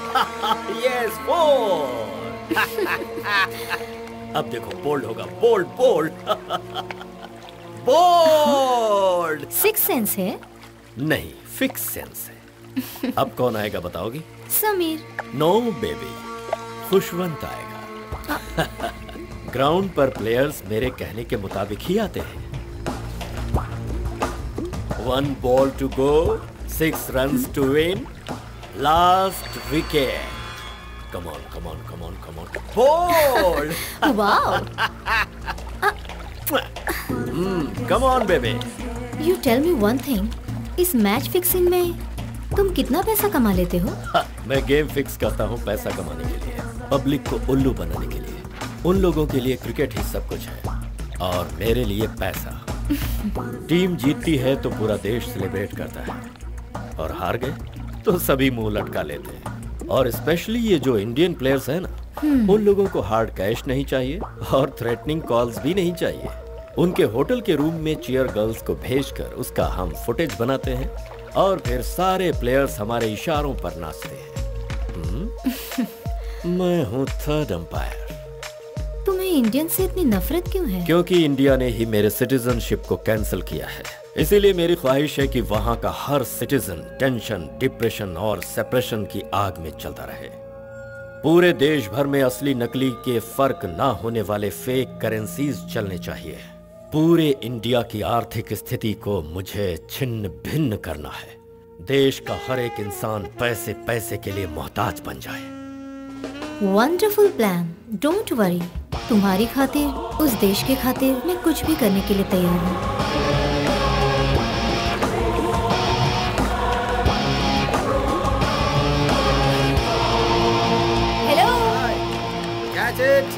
Khan का कंप्लीट नेटवर्क और फ़ोन कॉल्स का सारा डिटेल्स इस हार्ड डिस्क में है। बाद में फ़ोन करता हूँ। मुझे क्या करना होगा? उसका फ्यूचर प्लान क्या है उसे किस तरह एग्जीक्यूट करने वाला है ये जान लो। कल ही उसे और उसकी सारी गैंग को मेरी बताई हुई जगह पर ले आना okay okay bye take care okay bye मैं वैसा ही करूँगी जैसा तुमने कहा है।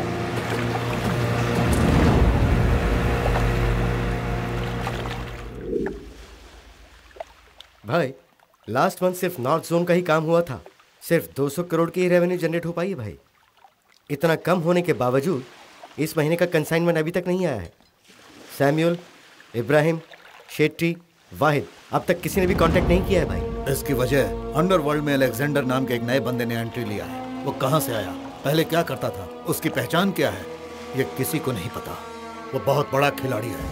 जो काम किसी के बस का नहीं, उसमें वो बेझिझक हाथ डालता है। First time middle east south east western mafia Italian mafia. सबको उसने खुश रखा हुआ है। टनों के हिसाब से माल सप्लाई कर रहा है। वो भी कम रेट में। शॉर्टकट में लॉन्ग टर्म की प्लानिंग कर रहा है भाई वो। मार्केट को एकदम सस्ता करके हमें हफ़्ता देने वालों को भी उसने अपने कब्जे में करने का प्लान बनाया भाई। कल अगर उसका डील ओके हो गया तो भाई हम लोग मुश्किल में आ जाएँगे। अब तक जितने नेटवर्क को तुम एस्टेब्लिश करते आए हो वो उसे अपने कब्जे में ले लेगा। उसे ऐसा मौका मत दो भाई। मैं ही उसे जाकर भून देता हूँ। तुम्हें जाने की ज़रूरत नहीं। स्नेक यू आर राइट हमारा कोई भी आदमी जाएगा तो वो अपना प्लान चेंज कर देगा। इसीलिए तुम्हारा जाना बेटर है।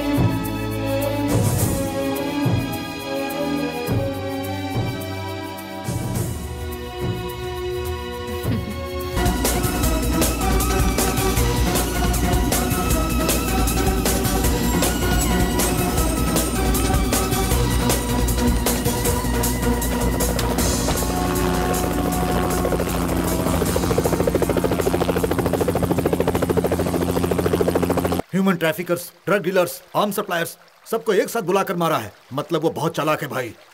हमारी कंपनी डूब रही है। पूरा नेटवर्क बिगाड़ दिया उसने। आप उसे नेगलेक्ट कर रहे हैं। तभी वो उछल रहा है।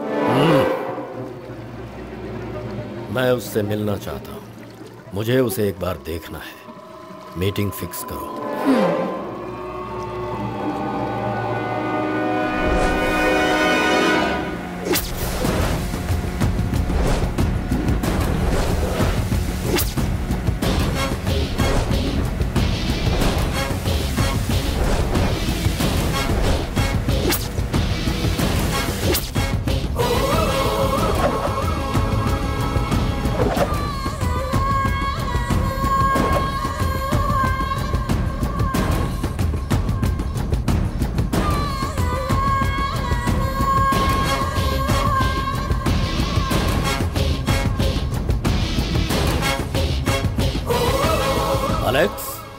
अलेक्जेंडर हाँ, मैं सोच रहा था तू कोई इटालियन अमेरिकन या फिर ब्राजीलियन होगा। उस दिन तू फिक्स किए हुए टाइम पर नहीं पहुँचा।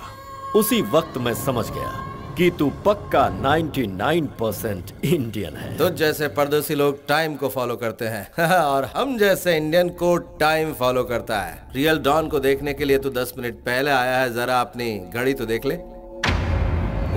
ए, ए, एक छोटे मोटे गैंग को मार दिया तो अपने आप को बहुत बड़ा डॉन मत समझ। हाँ। इस माफिया नाम के सागर में कितनी ही मछलियाँ हैं, लेकिन इन सब के बीच खतरनाक शार्क मैं ही हूँ। फिर भी तेरी हिम्मत की दाद देनी होगी। इस डॉन को देखने के लिए तू अकेला आया है।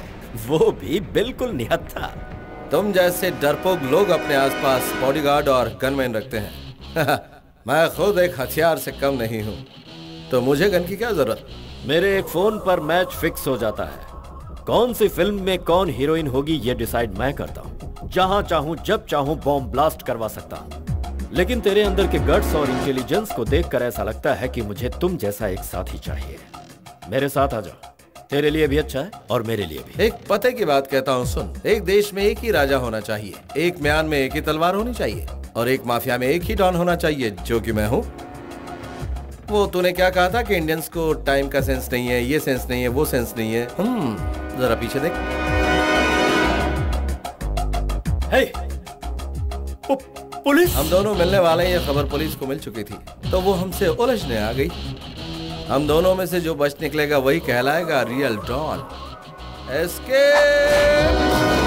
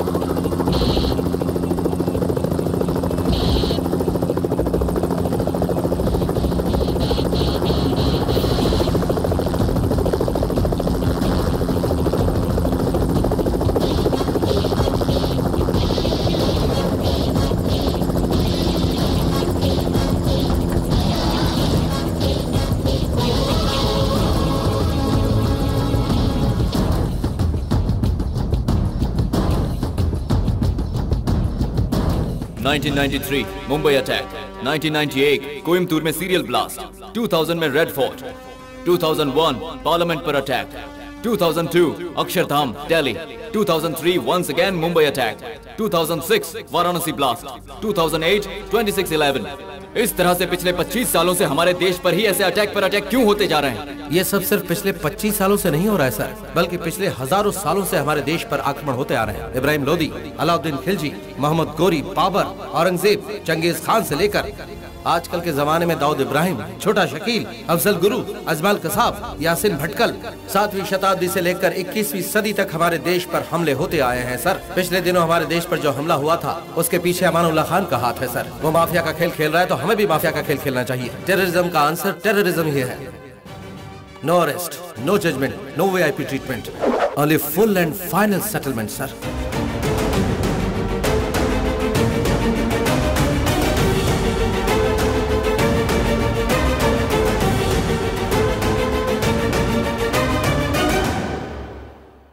you can proceed उस दिन तुमने खान को शूट करने के बाद उसके गैंग के बचे हुए लोग तुम्हें कहाँ मिलेंगे ये इन्फॉर्मेशन मैंने तुम्हें दी।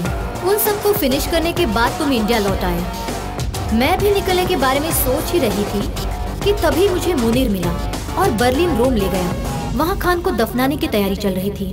सबसे शॉकिंग बात तो ये हुई कि मेरे सामने अमनुल्लाह खान की डेड बॉडी पड़ी हुई थी और उस डेड बॉडी पर अमनुल्ला खान ही फूल चढ़ा रहा था। तुमने जिसे मारा वो उसका डुप्लीकेट था। मैंने तुम्हें ये बताने की पूरी कोशिश की but it didn't happen is very very intelligent exactly वो मर गया ये खबर बिल्कुल एक आग की तरह फैल गई। उसे हर कीमत पर अपनी मौत का बदला लेना था। वो तुम्हें माफ़ करने के मूड में बिल्कुल नहीं था। उसके दिल में बदले की आग भड़कती जा रही थी। वो दुनिया के हर कोने में तुम्हें ढूंढ रहा था। उसका सिर्फ़ एक ही मकसद था तुम्हारी मौत। कुछ दिनों के बाद उसे बिहारी गैंग से किसी को मारने की करोड़ों की सुपारी मिली। उनके भेजे हुए फैक्स को देखकर मैं पूरी तरह शॉक्ड हो गई। प्रीस्ट के गेटअप में वो तुम ही थे या कोई और? ये मैं नहीं समझ पाई। एक पल के लिए ऐसा लगा प्रीस्ट का गेटअप शायद किसी मिशन के लिए तुमने चेंज किया हो? मैं पूरी तरह कंफ्यूज थी। मैं किसी को फ़ोन नहीं कर पाई। मैं पूरी तरह मजबूर थी। मुझे उस वक्त सिर्फ़ एक ही चीज़ सूझी, कि उन्हें किसी भी हाल में तुम्हारी तस्वीर नहीं मिलनी चाहिए। फाइनली मुनीर तुम्हें मारने के लिए इंडिया आ रहा है जैसे ही ये बात मुझे पता चली मैं किसी तरह वहाँ से निकल भागी और तुम तक पहुंचकर तुम्हें बचाना मेरा मिशन बन गया।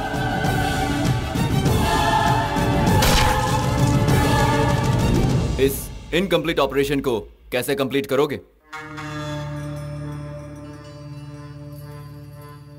इसे आपको ही कंटिन्यू करना पड़ेगा सर ये तुम क्या कह रहे हो? दरअसल बात यह है सर पिताजी के स्वर्गवास के बाद मंदिर की सारी ज़िम्मेदारी मेरे कंधों पर आ गई है।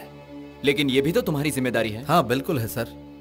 इस काम का चुनाव मैंने अपनी मर्ज़ी से किया था लेकिन मंदिर का काम मुझे अपने आप मिला है। सीक्रेट इन्फॉर्मेशन और काउंटर टेरर अटैक में तुम कितने एक्सपर्ट हो ये सब अच्छी तरह से जानते हैं। तुमने गिव अप कर दिया तो इस ऑपरेशन को कंप्लीट कौन करेगा? मैं नहीं हूँ तो क्या हुआ सर? इस काम को पूरा करने के लिए यहाँ पर एक से बढ़कर एक ऑफिसर है लेकिन वहाँ मेरे सिवा कोई नहीं है सर।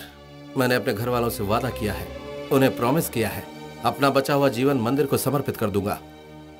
क्योंकि हमारे पूर्वजों का वो मंदिर सदियों पुराना है, जिसकी हिफाजत बहुत ज़रूरी है, sir. I am very sorry to resign from my job sir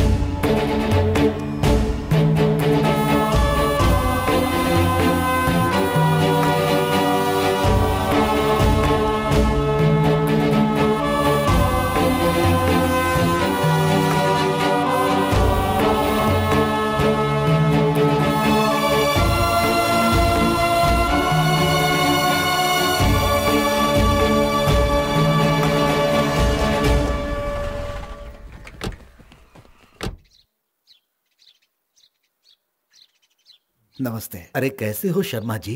मैं ठीक घर में सब कुशल मंगल? सभी लोग ठीक हैं। हाँ। आपका पोता रॉ का एजेंट है ये सुनकर बड़ी खुशी लीजिए। बाबूजी। मैडम जी नमस्ते। नमस्ते। आपके पोते के बारे में आपको पहले से पता था? अरे नहीं लेकिन वो जो भी करता है अच्छा ही करता है। वो घर पे है क्या? मुझे उनसे मिलना था। वो ऊपर है। तुम्हारा इंतज़ार कर रहा है। जाओ मिल लो। जी ठीक है। सर मुझे आपको कुछ बहुत ही ज़रूरी बातें बतानी है। हाँ ज़रूर बताइए सर। आप रिज़ाइन करके आए हैं, मुझे ये बात पता चली है। लेकिन उसे एक्सेप्ट ना किया जाए, मैंने बड़े अधिकारियों से ऐसा रिक्वेस्ट किया है। उसका कारण ये है कि आजकल जो क्राइम चल रहा है, उसे हम लोग कंट्रोल करने की बहुत कोशिश कर रहे हैं, लेकिन कामयाबी नहीं मिल रही है। सिर्फ़ इतना ही नहीं, इस मंदिर की ज़मीन पूरे सौ एकड़ तक फैली हुई है और इस पवित्र ज़मीन पर चंदन की लकड़ियों की स्मगलिंग हो रही है। ऐसा कंप्लेंट आपके पिताजी ने दिया था, जो अभी तक पेंडिंग पड़ी हुई है सर इस सारे काम के पीछे भूतनाथ का हाथ है सर। उसकी पहुँच सेंट्रल तक होने की वजह से हम उसका कुछ भी नहीं बिगाड़ पा रहे हैं सर। आपने जिस तरह से इंटरनेशनल माफिया को धूल चटाया है उसी तरह से इस केस को भी हैंडल करेंगे। तो हमारे डिपार्टमेंट को भी हिम्मत मिलेगी सर। आप एक काम कीजिए। सर। इस ऑपरेशन के लिए मुझे दस अच्छे काबिल ऑफिसर्स दे दीजिए। हम्म। आगे क्या करना है ये मैं देखता हूँ।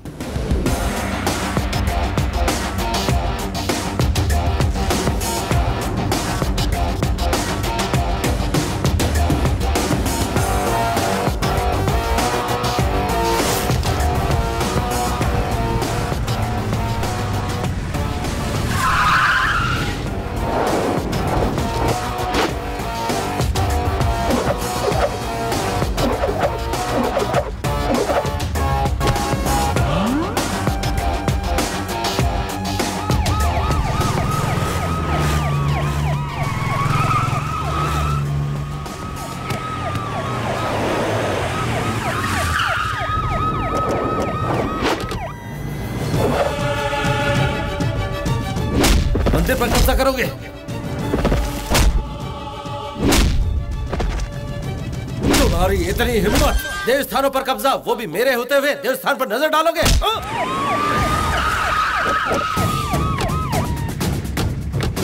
माथे पर भस्म लगाकर इस भूतनाग की चौखट पर आखिर तू पहुँच ही गया। इसके टुकड़े टुकड़े कर दो।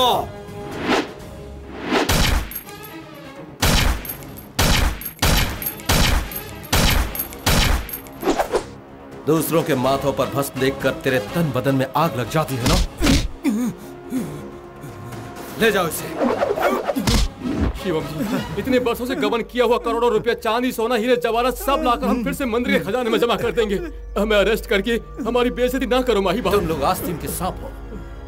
देवालय की बदनामी ना हो, इसलिए इस बार तुम पर कोई कार्रवाई नहीं कर रहा हूँ। बेहतर होगा ये गाँव छोड़ दो।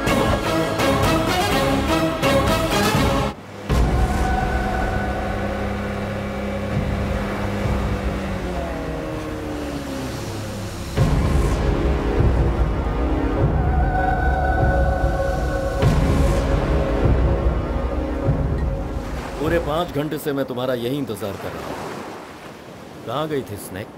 हायर स्टडीज़ के लिए इंडिया आए हुए 300 जिहादी स्टूडेंट्स के रहने का इंतज़ाम करने के लिए मैं वहाँ गई थी। और कोई सवाल? तो? ये स्नेक नहीं है। तुझे अंदाज़ा भी है कौन है? हाँ? मेरे दिल का टुकड़ा है ये। ला ला गन ला गन ला दे मुझे। ठोक दूँगा तुझे। जानती हो इसने क्या देखा? ये जिस डील में तुम्हारे साथ गया था, वही पुजारी की सुपारी जो हमें मिली थी, जिसमें चार करोड़ हमें मिलने थे, उसे पुजारी के रूप में एलेक्स मिला, जो हकीकत में शिवम राज है। जब बिहारी गैंग को लेकर ये शिवम राज को मारने गया तो तुमने ही आकर उसकी जान बचाई, ऐसा कहा इसने? मेरी दिलरुबा मेरे लिए अपनी जान दे सकती है। वो मुझे कभी धोखा नहीं दे सकती। बोलूँ तो अभी जान दे देगी वो। मैं तुझे नहीं छोड़ूँगा। मेरी ज़िंदगी का मकसद तो यही था। कि तुझे मौत के घाट उतारूं। जिस दिन तू माफिया से टेररिज्म में टर्न हुआ इंडिया पर अटैक शुरू कर दिए, उसी दिन शिवम ने तुझे टारगेट बनाकर एलेक्स बनकर यहाँ एंट्री ली। तेरी माफिया से तुझे ही धूल चटाई। तुम्हारे डुप्लीकेट के बारे में हमें देर से पता चला। इसलिए अब तक तेरी साँसें चल रही है।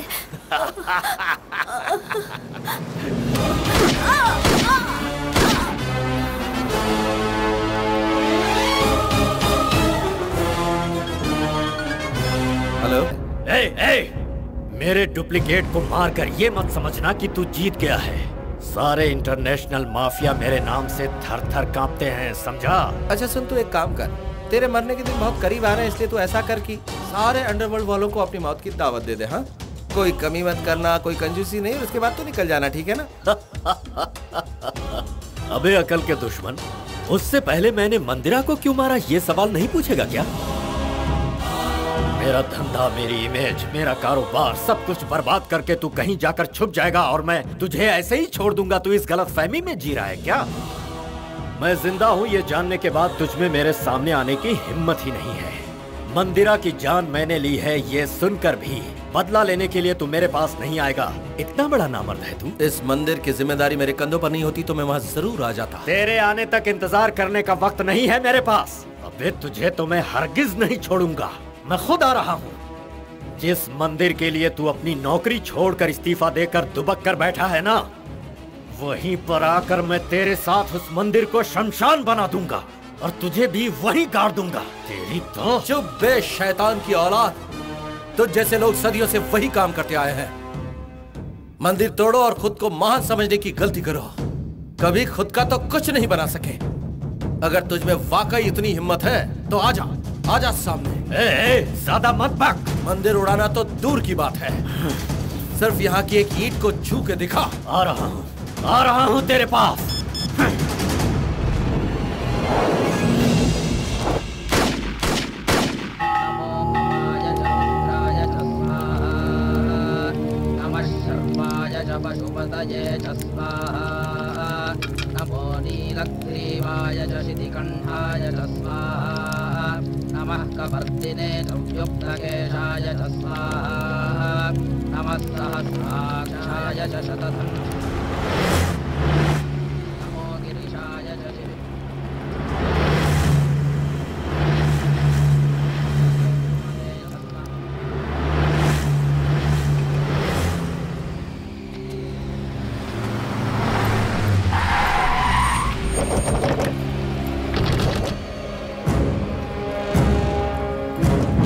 टाइम पर हम लोग पहुँचे हैं। उसके हवन खत्म करने से पहले ही पूरे मंदिर को धूल में मिलाकर उसे यहाँ घसीटते हुए ले आओ। उसकी समाधि में यही बनाऊँगा। जाओ!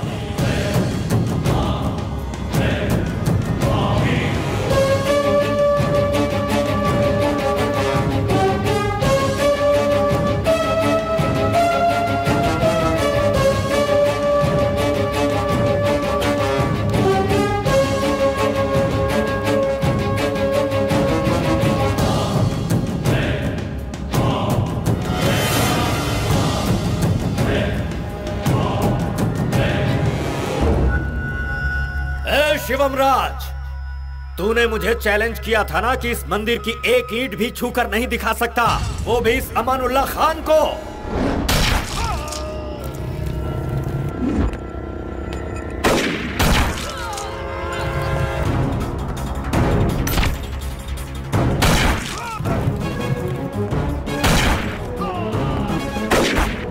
ये खान क्या क्या कर सकता है? अब तू देखना।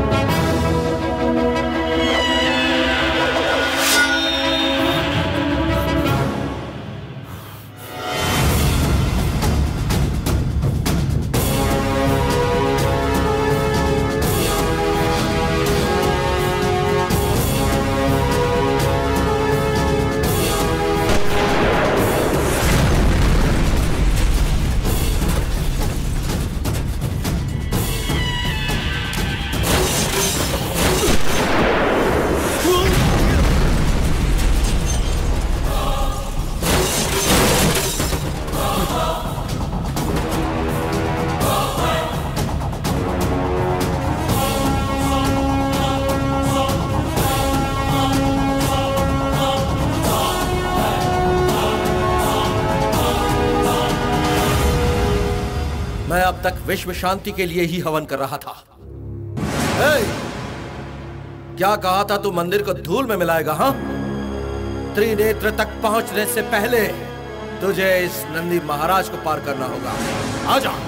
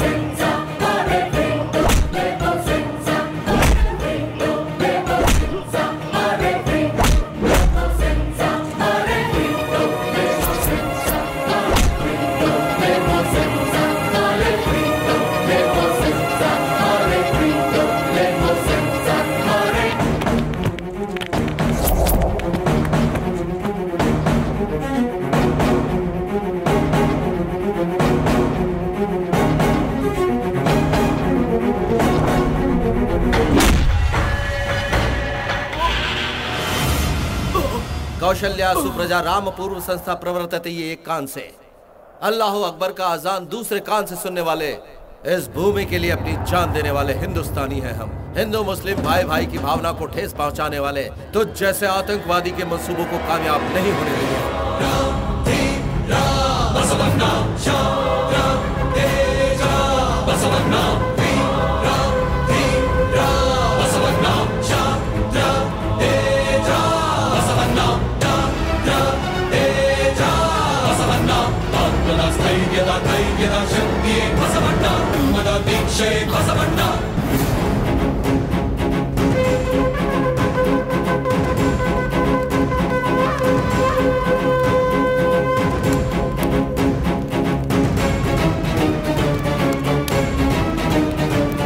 हमारी धरती का कोना कोना चाहे वो किसी भी धर्म का क्यों ना हो, हर किसी का फ़र्ज़ है कि उसे अपने गले से लगाकर एक पवित्र भूमि माने।